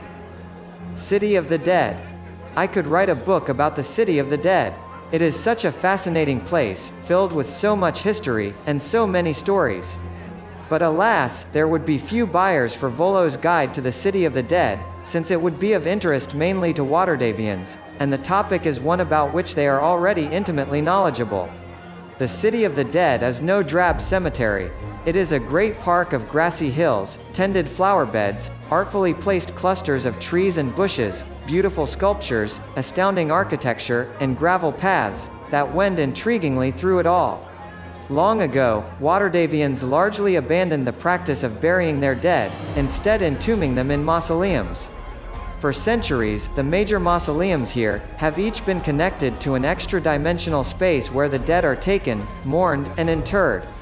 Those who can afford it, memorialize the departed with sculptures, making the City of the Dead an open-air museum that features some of the most stunning, haunting, mournful, and downright eerie statues ever crafted in marble or bronze. Nobles and wealthy merchants have competed to erect the grandest markers for their dead, leading to a wide variety of styles and concepts created by artists, at the height of their skills. One of the cemetery's most impressive attractions is the Warrior's Monument. This intricate, 60-foot high sculpture, depicts a circle of women and men, striking down trolls, orcs, hobgoblins, bugbears, and barbarians, all of which are falling backward and outward, around the warriors. Above all of them, a flying griffin rider spears a skeletal knight, whose breastplate bears the symbol of Myrkul, god of the dead. But this statue is also a fountain, and the wounds on these combatants gush water. Do not try to imagine it, just go see it. And see it as Waterdhavians do. Pack a midday feast, have a picnic, and then take a stroll through the beauty of the place. outside the city proper, there's more to the city of Waterdeep than just the wards within its walls. If you have need to visit the environs of the city, here's what you'll need to know. Field Ward. This district was once a caravan yard between Waterdeep's two northernmost walls, kept free of settlement, to serve as a killing field in times of war. As refugees from various calamities settled there, after not being allowed into the city's wealthy northern neighborhoods, the area has grown up into a lawless town of its own. Though not an official ward of the city, the field ward is commonly referred to as one. The Watch does not patrol this area, however, and many crimes go uninvestigated. The city guard oversees the field ward from the walls around it, but its members get involved only when folk moving into or out of the city are threatened. The area is a muddy mess, populated by the poorest people, and those who take advantage of those folks' desperation. It has no sewer system, and is not served by the Dung Sweepers Guild, a fact that will be quite evident to your nose if you venture here. I do not recommend that you spend any more time here than it takes to pass through from one gate to the next. The Guild of Butchers operates several slaughterhouses, smokehouses, and leather-making facilities in the area, noisome operations that have been pushed out of the city proper. A word to the wise. Being friendly with a burly fellow, who is good with a knife, is one of your best defenses in the field ward.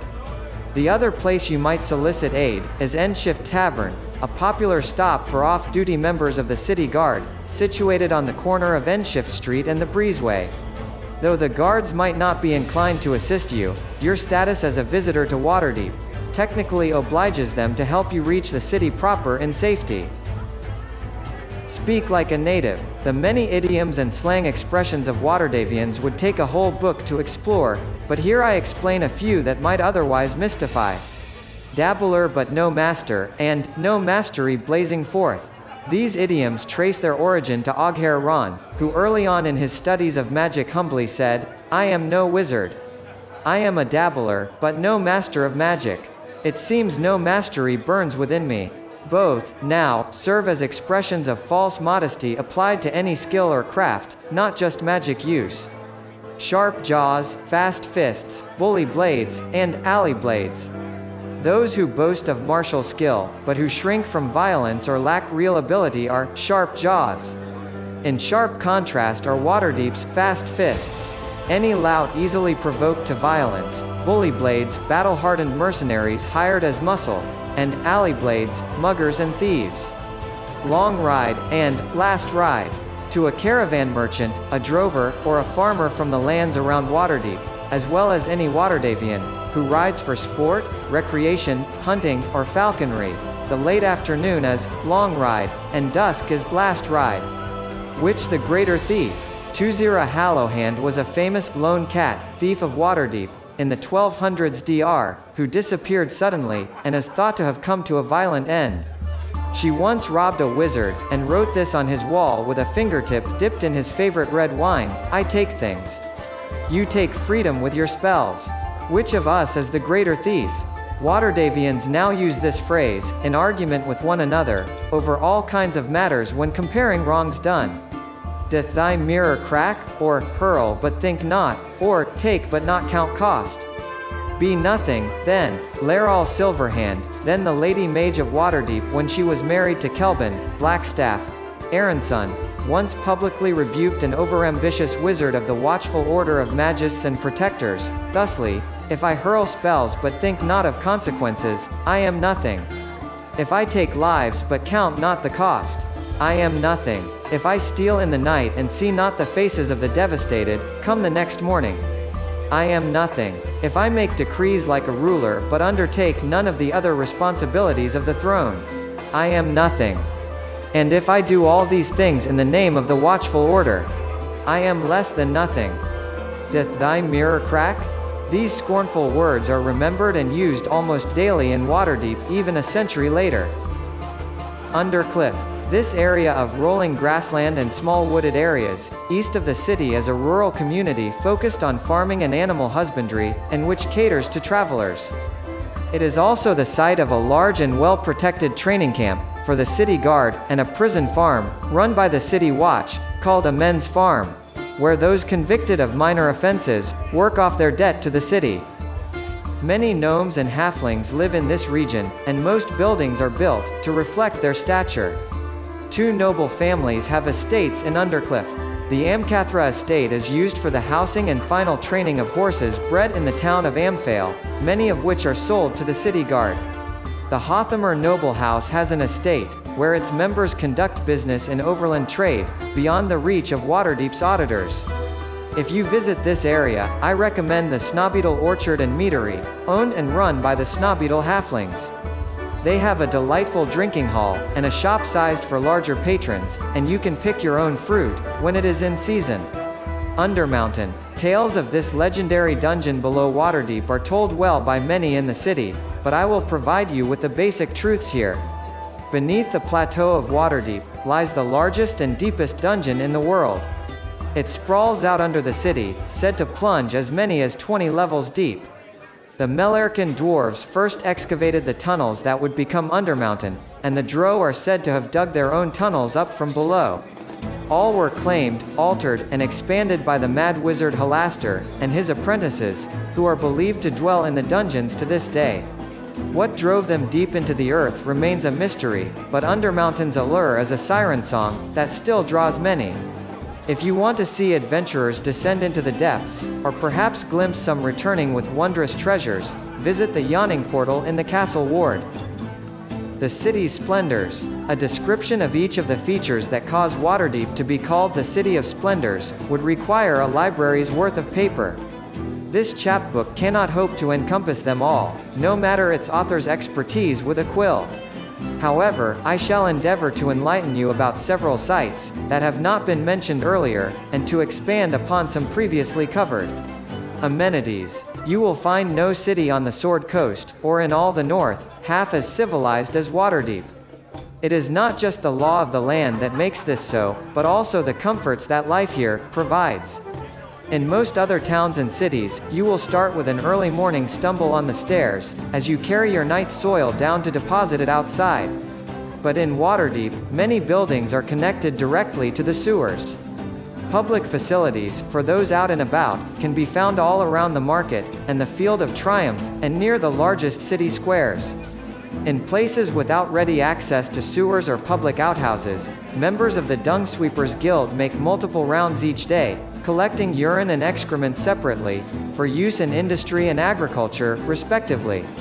Take comfort that in Waterdeep, you will always find a pot to piss in. Also notice how clean the streets are kept. This upkeep is due, in large part, to the hard work of the Dung Sweepers Guild. Dung sweepers can be seen working their brooms and carts at every hour of the day, and for a few hours after dark, all over the city, removing not just animal dung, but other refuse.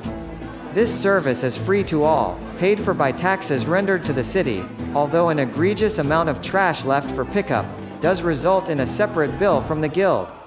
Another amenity soon appreciated by visitors is Waterdeep's water system. With public fountains and wells all about the city, clean water is plentiful. Many buildings have pumps of their own, to draw water from the local supply, and some even possess taps, that pour out water with the twist of a knob. This convenience is made possible by the inventiveness of the Gondar, the industry of the Cellarers and Plumbers Guild, and the magic that Waterdeep inherited from the Illefarni elves. Waterdeep is also a city of light. Continual flame spells illuminate many signs and street lamps in the wealthier parts of the city. Elsewhere, the Guild of Chandlers and Lamplighters keeps the streets lit, excepting the Field Ward and the most dangerous areas of the Dock Ward. Not only that, but hundreds of drift globes bob about the city of the dead at night, departing to float over the rest of the city each morning. Such is not typical behavior for drift globes, I assure you. Lastly, no city in the world is as literate as Waterdeep. Ogma's priests from the Font of Knowledge offer free instruction in reading to all who desire it, and the city has over 30 publishers of broadsheets, in addition to chapbook printers and book publishers. Large paper advertisements are plastered onto alley walls, and smaller ones are passed out by those hired by businesses to trumpet their services. Printed menus can be found posted in the windows of most eateries, and are handed out to those who dine within. Admittedly, you will see less reading material in the dock ward and the field ward, but this fact is notable, only because of its preponderance elsewhere. The Griffin Cavalry, Waterdeep does not have the fabled flying ships of Halruaa, but it does deploy an aerial defense force. Brave warriors of the City Guard fly out from the peak-top area atop Mount Waterdeep, riding fearsome griffins, that have been bred and trained for that purpose. Each of the riders is equipped with a ring of feather falling, not merely to prevent death from mishap, but to allow them to perform stunning feats of aerial acrobatics. In both martial displays, and in real battles against flying threats, such as manticores, harpies, and outlaw wizards. The griffin riders actually leap off their mounts, into the open air, for a breath-stealing moment, they fall like stones, closing in on their targets at incredible speed. Their opponents rarely see the death blow, distracted as they are by other mounted griffin riders. When they are past the danger, the free-falling riders then suddenly halt in the air, drifting like feathers, until their griffin companions swoop in, and they regain their saddles. Working in concert with one another in this fashion, members of the Griffin Cavalry can rapidly eliminate any threat to the city, and even catch the body of the offender before it hits the rooftops below. Riders of the Griffin Cavalry are trained to stay above the rooftops, not because they fear crashing into towers and weather vanes, but because the smell of so much horseflesh in the streets below, can sometimes drive their griffins into a frenzy. The walking statues. Over a century ago, just one of these eight behemoth statues, stood visible at the northern foot of Mount Waterdeep, on a bluff called Gull Leap. 90 feet tall, it resembled a bald human staring out to sea.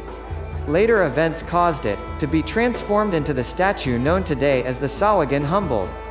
When the spell plague gripped Waterdeep in 1385 DR, six more walking statues suddenly appeared in the city, wandering to wreak havoc even as the Sahuagin Humbled remained motionless. The authorities and citizens of Waterdeep succeeded in stopping three of these new statues, breaking the Sword Maiden and the Hawkman, and sinking the God Catcher into the street, up to its waist. Then all the statues mysteriously stopped their rampage, just as quickly as they had begun it. Sara Chadran, the Blackstaff at the time, could not command them, to return to their former hiding places on the ethereal plane. Consequently, the city repaired itself, and built up around them.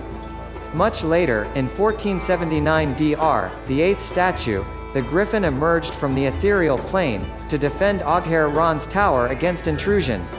It roosted there for a time, before flying to its current position, near Peak Top Eyrie on Mount Waterdeep. Once more, this activity seemed to be outside the Blackstaff's control. Thankfully, all the walking statues have been dormant, for well over a decade now, serving only as beautiful, cyclopean reminders of Waterdeep's might. The God Catcher. This is perhaps the most famous walking statue in the city, thanks to its dramatic pose, its nearness to the market, and the self-evident magic of its existence. The statue is of a well-muscled, but impassive male human, with its left leg sunk to the hip in the street, the result of a spell cast by the Blackstaff at the time of its rampage. Its left hand and right foot press against the ground, as if it is trying to pull itself out. Its right arm is raised skyward, and above its open palm, floats a sphere of stone. Its gaze looks up toward the sphere, and the pattern of bird droppings around its eyes, gives it the appearance of weeping. All about the statue, climbing up its chest, and on its knee and shoulders, is a tenement that carries the name, the God Catcher. The tenement's landlord is Andra Blackcloak, an unsociable sorcerer, who is rarely seen in the city, except when she alights from the door carved in the floating sphere, which serves as her home. On the rare occasions when she wants to meet with city folk, typically to purchase odd substances for magical purposes, she appears unannounced on balconies or rooftops after dark. Her dealings are polite, though, and she pays fair coin. She never confides in anyone, or talks about her own doings, and if anyone but she has ever seen the inside of her spherical home, they have said nothing publicly about it. The griffin, the walking statue called the griffin, is shaped like the beast for which it is named, Though it stands on all four legs, its back is fully 20 feet off the ground, making it a mount fit for a storm giant. Although it has shown itself to be capable of flight, with the granite feathers of its wings spreading like a bird's, the griffin now merely stands in a regal pose, near Peak Top Eyrie, atop Mount Waterdeep, looking to the southeast, over the dock ward. Newcomers sometimes assume it to be a monument to Waterdeep's Griffin cavalry, but Waterdhavians know better. The Sahuagin humbled. For years, the only visible walking statue of Waterdeep was known simply as the Walking Statue. It stood at the foot of Mount Waterdeep, near the head of Julthoon Street. Then, after its critical role in defending the city against an invasion of Sahuagin in 1370 DR, Khelben Blackstaff reshaped the statue into a Sahuagin. It now bows low toward the House of Heroes, on bended knee, a gesture of obeisance to the city, and an acknowledgement of the sacrifice of all who fought for the city, in that war. The Great Drunkard. This walking statue stopped its rampage, as it approached the market, then fell backward, and sat upon a building. When it settled, its arms fell limp at its sides, and its head tilted forward onto its chest, giving the impression that it had fallen asleep. The statue's huge stone battle axe still stands nearby, its haft angled upright, and its blade half buried in the cobbles.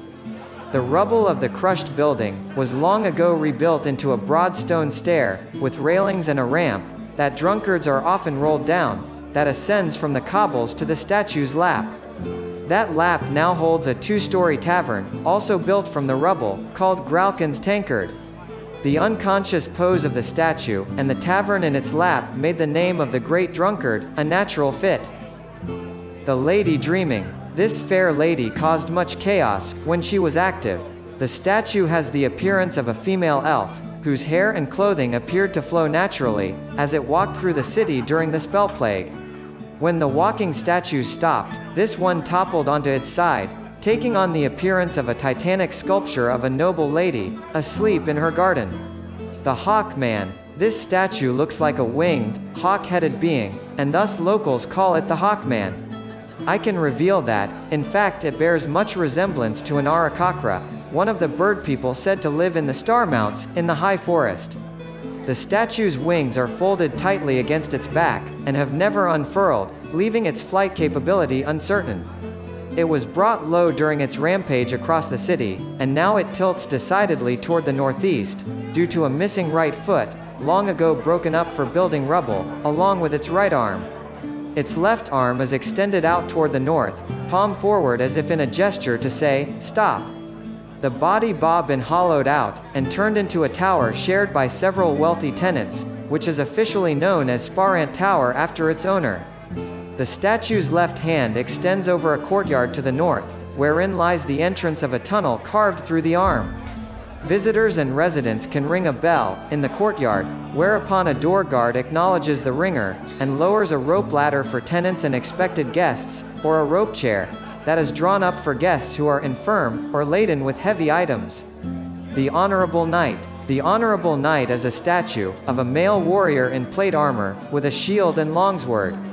When the walking statue stopped, it bowed to those opposing it, straightened, sheathed its sword, and doffed its shield, setting it point down on the ground and upright by its side. It then ceased motion in this position, facing southwest, toward the harbor, and looking for all the world, like a castle guard standing at ease. The pose it assumed, led to its naming, and it is viewed with respect by the citizens of the Sutherly wards. The Sword Maiden. This statue appears virtually identical to the Honorable Knight, except for its female form, and open-faced helm. It was felled during the spell plague, after causing much chaos and slaughter. The residents of Waterdeep's North Ward funneled much of their frustrated and dismayed reaction to its rampage into dismantling the statue, parts of which can now be found all over the North Ward, either incorporated into buildings or as bits of freestanding sculpture. The head of the Sword Maiden sits in a stand of tall trees, in the center of the block of the North Ward, bounded by Hasanter Street, Tarzur Street, Wyelgond Way, and Usilbrun Street. The center of its jaw and mouth have been replaced by a door, which leads into the shop known as Thort's Findings. Undevor Thort is a wizened ex-adventurer, who leans on a cane, which some locals insist is more than just a cane. He lives in the small shop, whose many levels, staircases, and landings fill the hollowed-out interior of the head, and which is crammed with oddments sold to Thort by adventurers and other travelers. These items bear little placards in Thort's beautiful, flowing handwriting that identify them, or at least provide speculation as to their origin and purpose. Nobles and wealthy merchants, who desire props for themed revels, often rent some of Thort's wares as decoration. And many sages, alchemists, and wizards visit him regularly in search of potentially useful items. Infamous alleys. Waterdeep has as many alleys as Baldur's Gate has cats, and each has a name and a story. Here are a few that you might wish to see, or should know to avoid. Rued's Stroll. This short avenue from Caravan Court to the Troll Wall, in the southern ward, is haunted by the hooded ghost of the mage Rued, whose touch causes deathly chills to those he meets on foggy nights. All attempts to banish or turn the spirit have failed. Those who brave its unearthly approach, and allow Rued to pass through them, learn a secret truth about someone, or something in their life, if they survive. Brindle Alley. This is the lair of the hand that sings, a magical phantasm of a hand, with a mouth in its palm. The hand is said to snatch valuables it fancies, especially magical ones, when it encounters them, and to occasionally attack folk in the darkness, strangling them, or tripping them into fatal falls. Most often, though, it takes no notice of those who do not bother or follow it, eerily singing fragments of old Sword Coast ballads and love songs as it drifts through the night. Many Cats Alley. This passage crosses two city blocks and winds through the interior of a third, running between and, for the most part, parallel to Julthoon Street and Trader's Way in the North Ward. It is, unsurprisingly, home to many cats that feed on scraps from the surrounding butcher's shops, but it is also known for the many carved stone heads of people and animals that adorn the alley's buildings. Individuals who have walked the alley alone report that some of the heads whispered cryptic messages to them. Gandwach Lane, found at the southern entrance to the House of Inspired Hands, in the Sea Ward, this alley serves as the testing ground for inventions, considered too dangerous to operate inside the temple. The locals are generally unconcerned about the risks, though, and stand watching, while food vendors circulate among them. Farah's Alley. This alley in the Sea Ward is named after the first leader of the House of Wonder, but is more infamous for its circle of skulls. This infrequent and unpredictable haunting takes the form of seven floating skulls, which hover in a circle, and argue with one another in whispered tones, about events in the city. If they are interrupted, their reaction reportedly varies, from being helpful, to engaging in murderous spellslinging. Three Daggers Alley. This alley in the dock ward suffers from a magical curse, that causes three daggers to appear out of thin air, and attack passers-by. The daggers swoop and fly about, making multiple attempts at murder, before vanishing again. This magical effect, the result of a spell cast by a long-dead wizard, has resisted all attempts to dispel it. Some locals boast of how many times they have crossed the alley and lived to tell of it, but the appearance of the daggers is entirely a matter of chance and unpredictable. So take my advice and do not test Tymora's favor. City celebrations. At many times of year, hardly a 10 day can pass in Waterdeep without the staging of some rite, race, or rousing ceremony of civic pride. Here, I will briefly summarize the most widely celebrated events on the calendar, from the first of Hammer to the last of Nightal. Hammer 1. Wintershield. Marking the start of the new year, this observance is a widely recognized day off work, when folks sip warm ciders and broths, often laced with herbs for health, and to bring on visions, and stay inside. They tell tales of what interested them, or was important in the year just done, and discuss what they intend to do, or should deal with, or things that everyone should keep a hawk's clear eye on in the year ahead. Such talk inevitably leads to discussions of politics, wars, and the intentions of rulers. Maps are usually consulted, and it is widely considered lucky to possess and examine a map on Wintershield. Map sales are brisk in the 10 day preceding this holiday. Alturiak 14, the Grand Revel. Led by the clergy of Sune, Sharess, and Lliira, the Grand Revel is a day of dancing, music, and the consumption of sweet treats of all kinds, from chocolate to red fire mint candies. Although some of the dancing is wanton, and performed for show, large-scale ring dances in the street for all ages, are also popular.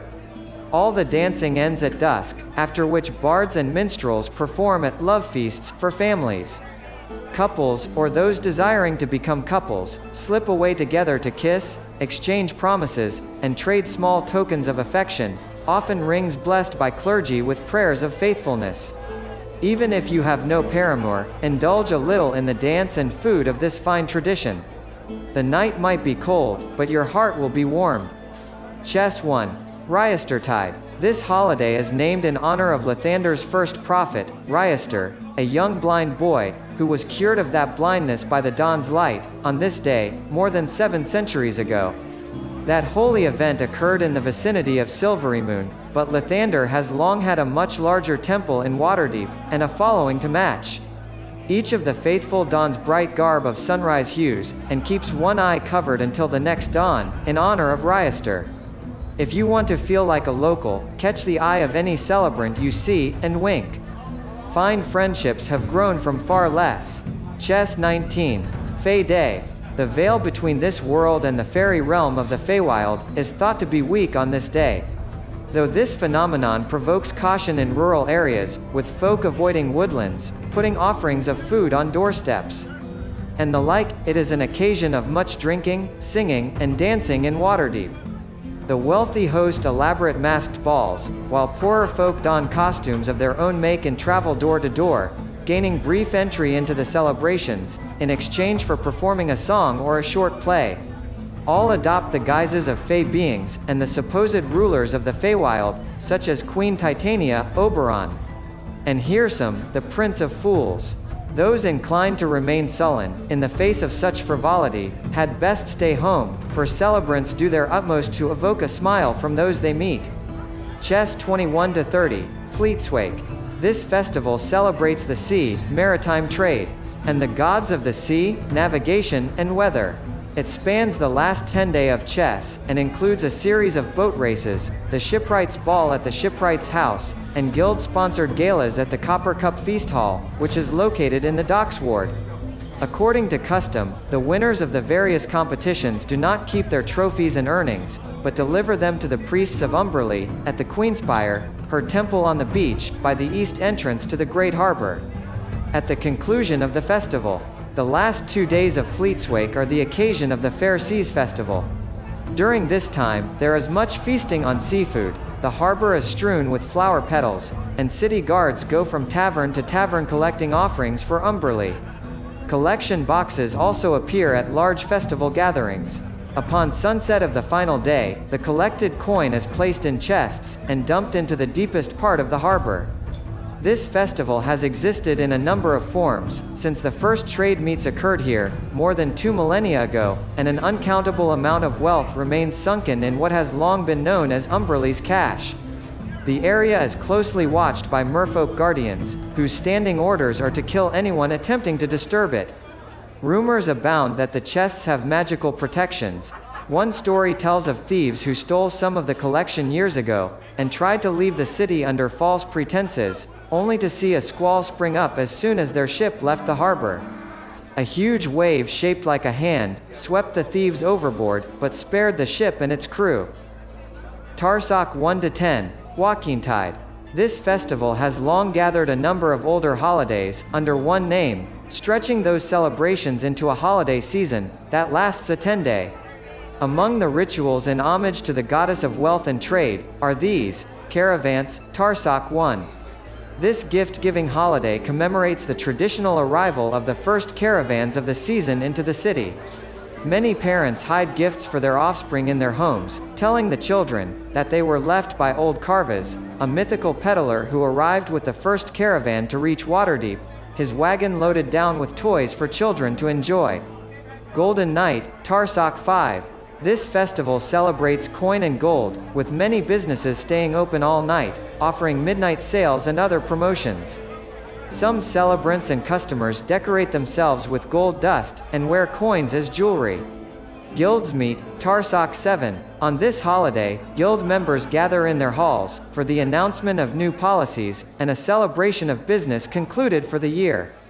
These gatherings culminate in a gala festival and dance sponsored by several guilds, which lasts from dusk till dawn, and overruns the market, the cynosure, the field of triumph, and all areas in between. Leiruin, Tarsakh 10. In times long past, Waukeen caught Leira, the goddess of illusions and deception, attempting to cheat her in a deal, and buried her under a mountain of molten gold as punishment.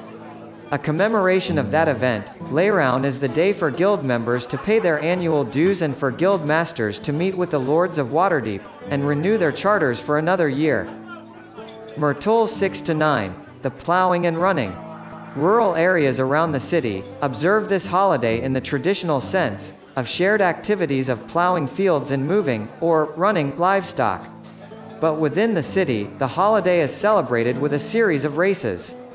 Foot, horse, and chariot races are run through courses in each ward, and the winners from each ward compete at the Field of Triumph. If you really want to see the wards come to life, this is the time. Pick your favorite, wear its colors, and cheer alongside its residents. Better yet, if you are of an adventuresome bent, register in your favored ward, and compete. Who knows? Your name or visage might soon have a place in the House of Heroes. Kythorn 1. Trolltide. On this day commemorating Waterdeep's victory in the Second Troll War, children run through the city, acting like trolls, banging on doors and growling, from high sun till dusk. Home and shop owners are expected to give the children candy, fruits, or small items. Those who give no treat, can expect to become the target of a trick at sundown. This mischief typically takes the form of troll scratchings at doors and windows. Those with more malicious intent, sing screechingly in the wee hours, and hurl raw eggs at windows, signs, and the heads of those who try to stop them. Have some candy on hand, or some sweet rolls, and all will be calm where you live. Kythorn 14, Guildhall Day. This day is a time of trade fairs. Most shops are closed, and street sales are suspended for all, but walking food peddlers. Guildhall Day celebrates the fruits of everyone's labor, with revelations of new products, innovations, fashions, and signage, extolling the extent and quality of Guild members' services and wares. These offerings usually take the form of glittering displays, but guilds sometimes also sponsor brief plays, or other hired entertainments, such as jugglers, singers, magic shows put on by hedge wizards and professional raconteurs, at which prizes or free samples are distributed. Many guilds try to recruit during this time. Guildhall Day is an excellent time to browse the city's merchandise, and it does not matter if you cannot afford what you see, because you cannot buy it that day anyway. Kythorn 20, Dragondown. This day in Kythorn is celebrated with bonfires and rituals, to tame, or drive down, dragons. In Waterdeep, the celebrations take the form of parades, that center around effigies built of wood and cloth, and filled with straw. Each effigy is named, and has a traditional depiction, for it represents one of a handful of dragons the city has faced in its history. After being paraded to a square, near where the dragon was defeated or driven off, the enormous effigy is burned. The height of the celebration comes, when the effigy of Kistarianth the Red is burned on the slopes of Mount Waterdeep. A Draco Lich version of Kistarianth is then carried up the slopes and burned as well. These proceedings symbolize the defeat of Kistarianth, first by the paladin Ather, and again decades later, by his son, Pirjaren. Tradition dictates that the winners of the races, run during the plowing and running, take the role of the dragon slayers, with the champion of the chariot race representing Ather, and the champion of the horse race playing Pirjaren. Flamerule 1. Founders Day. This day commemorates the birth of the city. The Field of Triumph is the site of illusory displays that chronicle the history of Waterdeep, as well as martial exhibitions by the Guard and other worthies. Many feast halls sponsor Founders Day costume contests, with prizes going to those who wear the best recreations of the garb of historical personages. Once banned as frivolous and distracting, the practice of veiling Castle Waterdeep with an illusion has been reinstated. Several mages come together to produce the effect, which seemingly transforms the castle into the ancient log fortress of Nimoar. The illusion typically lasts from midday to sunset, unless someone has the audacity and magical might to dispel it, and is regarded as a stunning work of magical art. Flamerule 3 to 5. Sornyn. Sornyn is a festival of both Waukeen and Lathander, and is used for planning business, making treaties and agreements, and receiving envoys from unknown lands, and traditional foes. Much wine is drunk over this three-day occasion when, as the saying goes, my enemy is like family to me. If you are a newcomer to the city, this time is an excellent opportunity for you, to engage with new partners in business, or to gain financial support for some endeavor. My agreement to write Volo's Guide to Waterdeep was signed on a warm Sornyn evening, many years ago, so who knows where your own initiative will take you. Flamerule 7. Lliira's Night. Originally a celebration held only in Waterdeep, this holiday has since spread up and down the Sword Coast. It has received a recent boost in popularity, from the custom started in Baldur's Gate, of lighting celebratory smoke powder fireworks, all purchased from Felogyr's fireworks of that city, and utilized only by the city guard, of course. This night-long festival honors the Lady of Joy, with dances and balls throughout the city. Pink beverages, ranging from healthy juices to deadly strong intoxicants, are imbibed. The boom and crackle of smoke powder explosions go off all night long, so you might as well stay up with the locals and enjoy the show. Eleasis 1. Ahghairon's Day, Many small rituals are held throughout this day, dedicated to honoring the first Open Lord. The Lords of Waterdeep toast Ahghairon and the Watchful Order, and Guild Masters toast the Lords in Ahghairon's name. Commoners leave violets, Ahghairon's favorite flower, around Ahghairon's tower, on his statue in the City of the Dead, and atop the altars of the House of Wonder. Bards perform songs in honor of the wizard all over the city. The Open Lord visits taverns and inns throughout Waterdeep to wish the people well, giving short speeches, offering toasts to Ahghairon's memory, buying rounds of drinks, or paying for meals or accommodation. Needless to say, establishments of those sorts are generally full throughout the day. Eleint 21, Bright Swords. On this day, the City Guard, the City Navy, and the City Watch, all in glittering array, conduct parades, give demonstrations of martial skill, and stage mock battles. Those desiring to join their ranks are given a chance to demonstrate their prowess, usually with wooden practice weapons, in contests against veteran soldiers. Makers and vendors of weapons sell their wares openly in the markets, experts who can hurl or juggle weapons show off their skills, and the wards compete in wrestling and boxing matches. The most anticipated part of the day is when horses are cleared from the Field of Triumph and the surrounding streets, so that the Griffin cavalry can perform aerial displays over the crowds in the stadium. Members of the Watchful Order present the cavalry with illusory foes to fight, allowing the Griffin riders to engage in thrilling battles as the people watch. Marpenoth 3, Day of Wonders. The imaginative inventions of the Gondar are revealed on this day and paraded through the city. These devices range from something as humble as new cabinet hinges, to massive mechanical constructs that walk or roll about.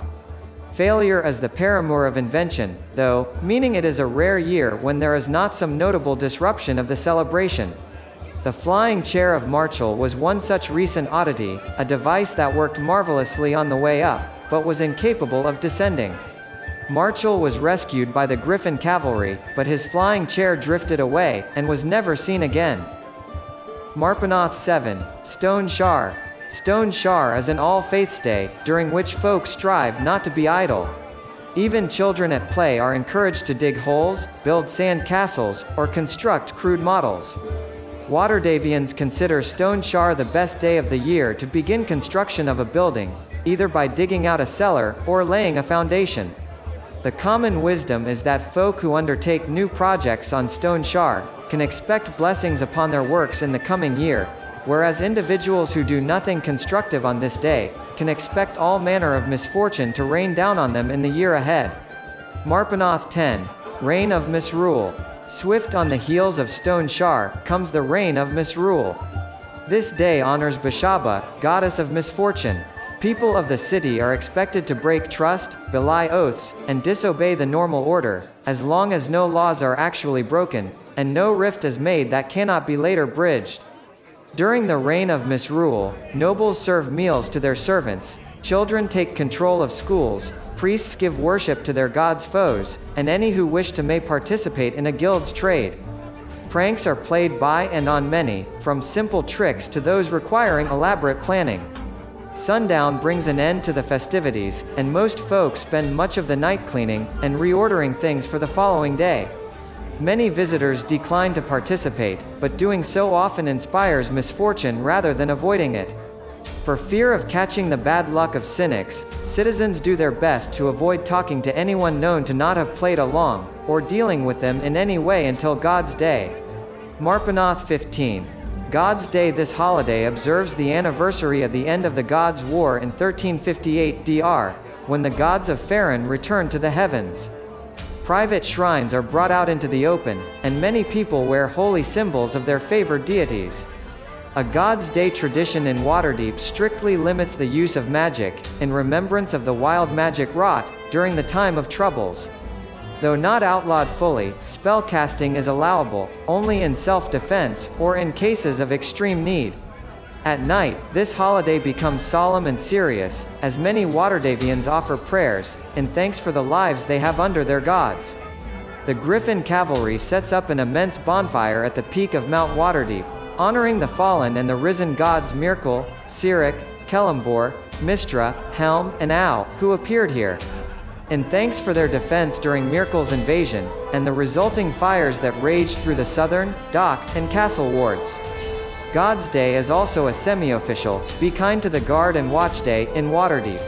Feel free to participate, by handing out small gifts and kind words, but be aware that any gift of greater value than a few nibs might be interpreted as a bribe.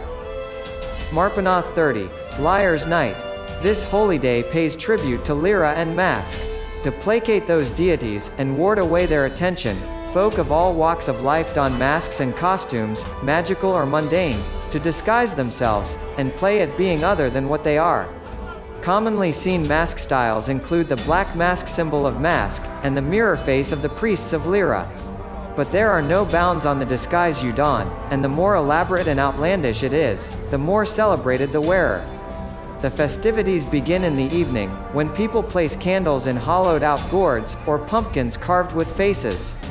Each pumpkin represents a person donning a mask, while the light inside represents the truth of the soul. For as long as the candle remains lit, lies told and embarrassing things done, do not sully a person's reputation, so celebrations often descend briefly into anarchic hedonism.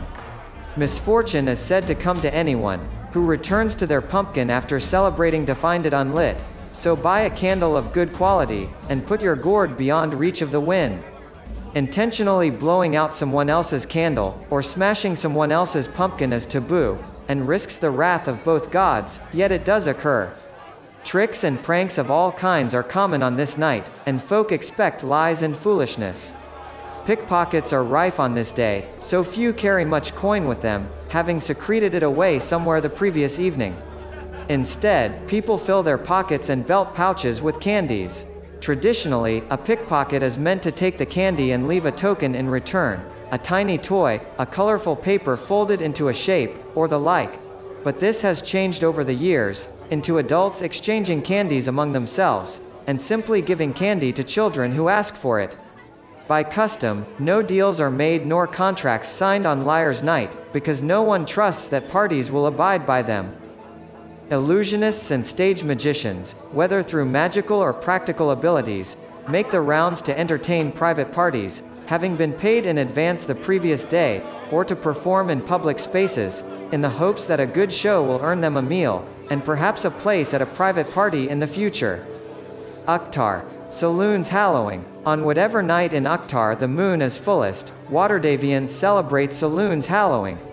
The goddess is the focus of worship throughout the full phase, of course, but the major ceremony on this night is a parade of worshippers leaving the House of the Moon at moonrise, and moving down to the harbor, where the high priestess wields the wand of the four moons, in a ceremony blessing all navigators. This holy relic is said to be the mace wielded by Selûne, in her first battle against Shar, and again in a fight with her sister, during the time of troubles. It miraculously appeared in Waterdeep, after the Gods' War, and has since been the focus of many divine signs. You can view it in the House of the Moon at other times of the year, but only from a well-guarded distance. If you are lucky, you might see the wand of the four moons weep. Droplets said to be the tears of Selûne, manifest on the mace from time to time, and are collected by the priestesses, for use in potions, that can heal, cure lycanthropy, and be used as holy water. Uktar 20. Last sheaf. Sometimes called the Small Feast, this day of residential feasting is held in celebration of the year's bounty.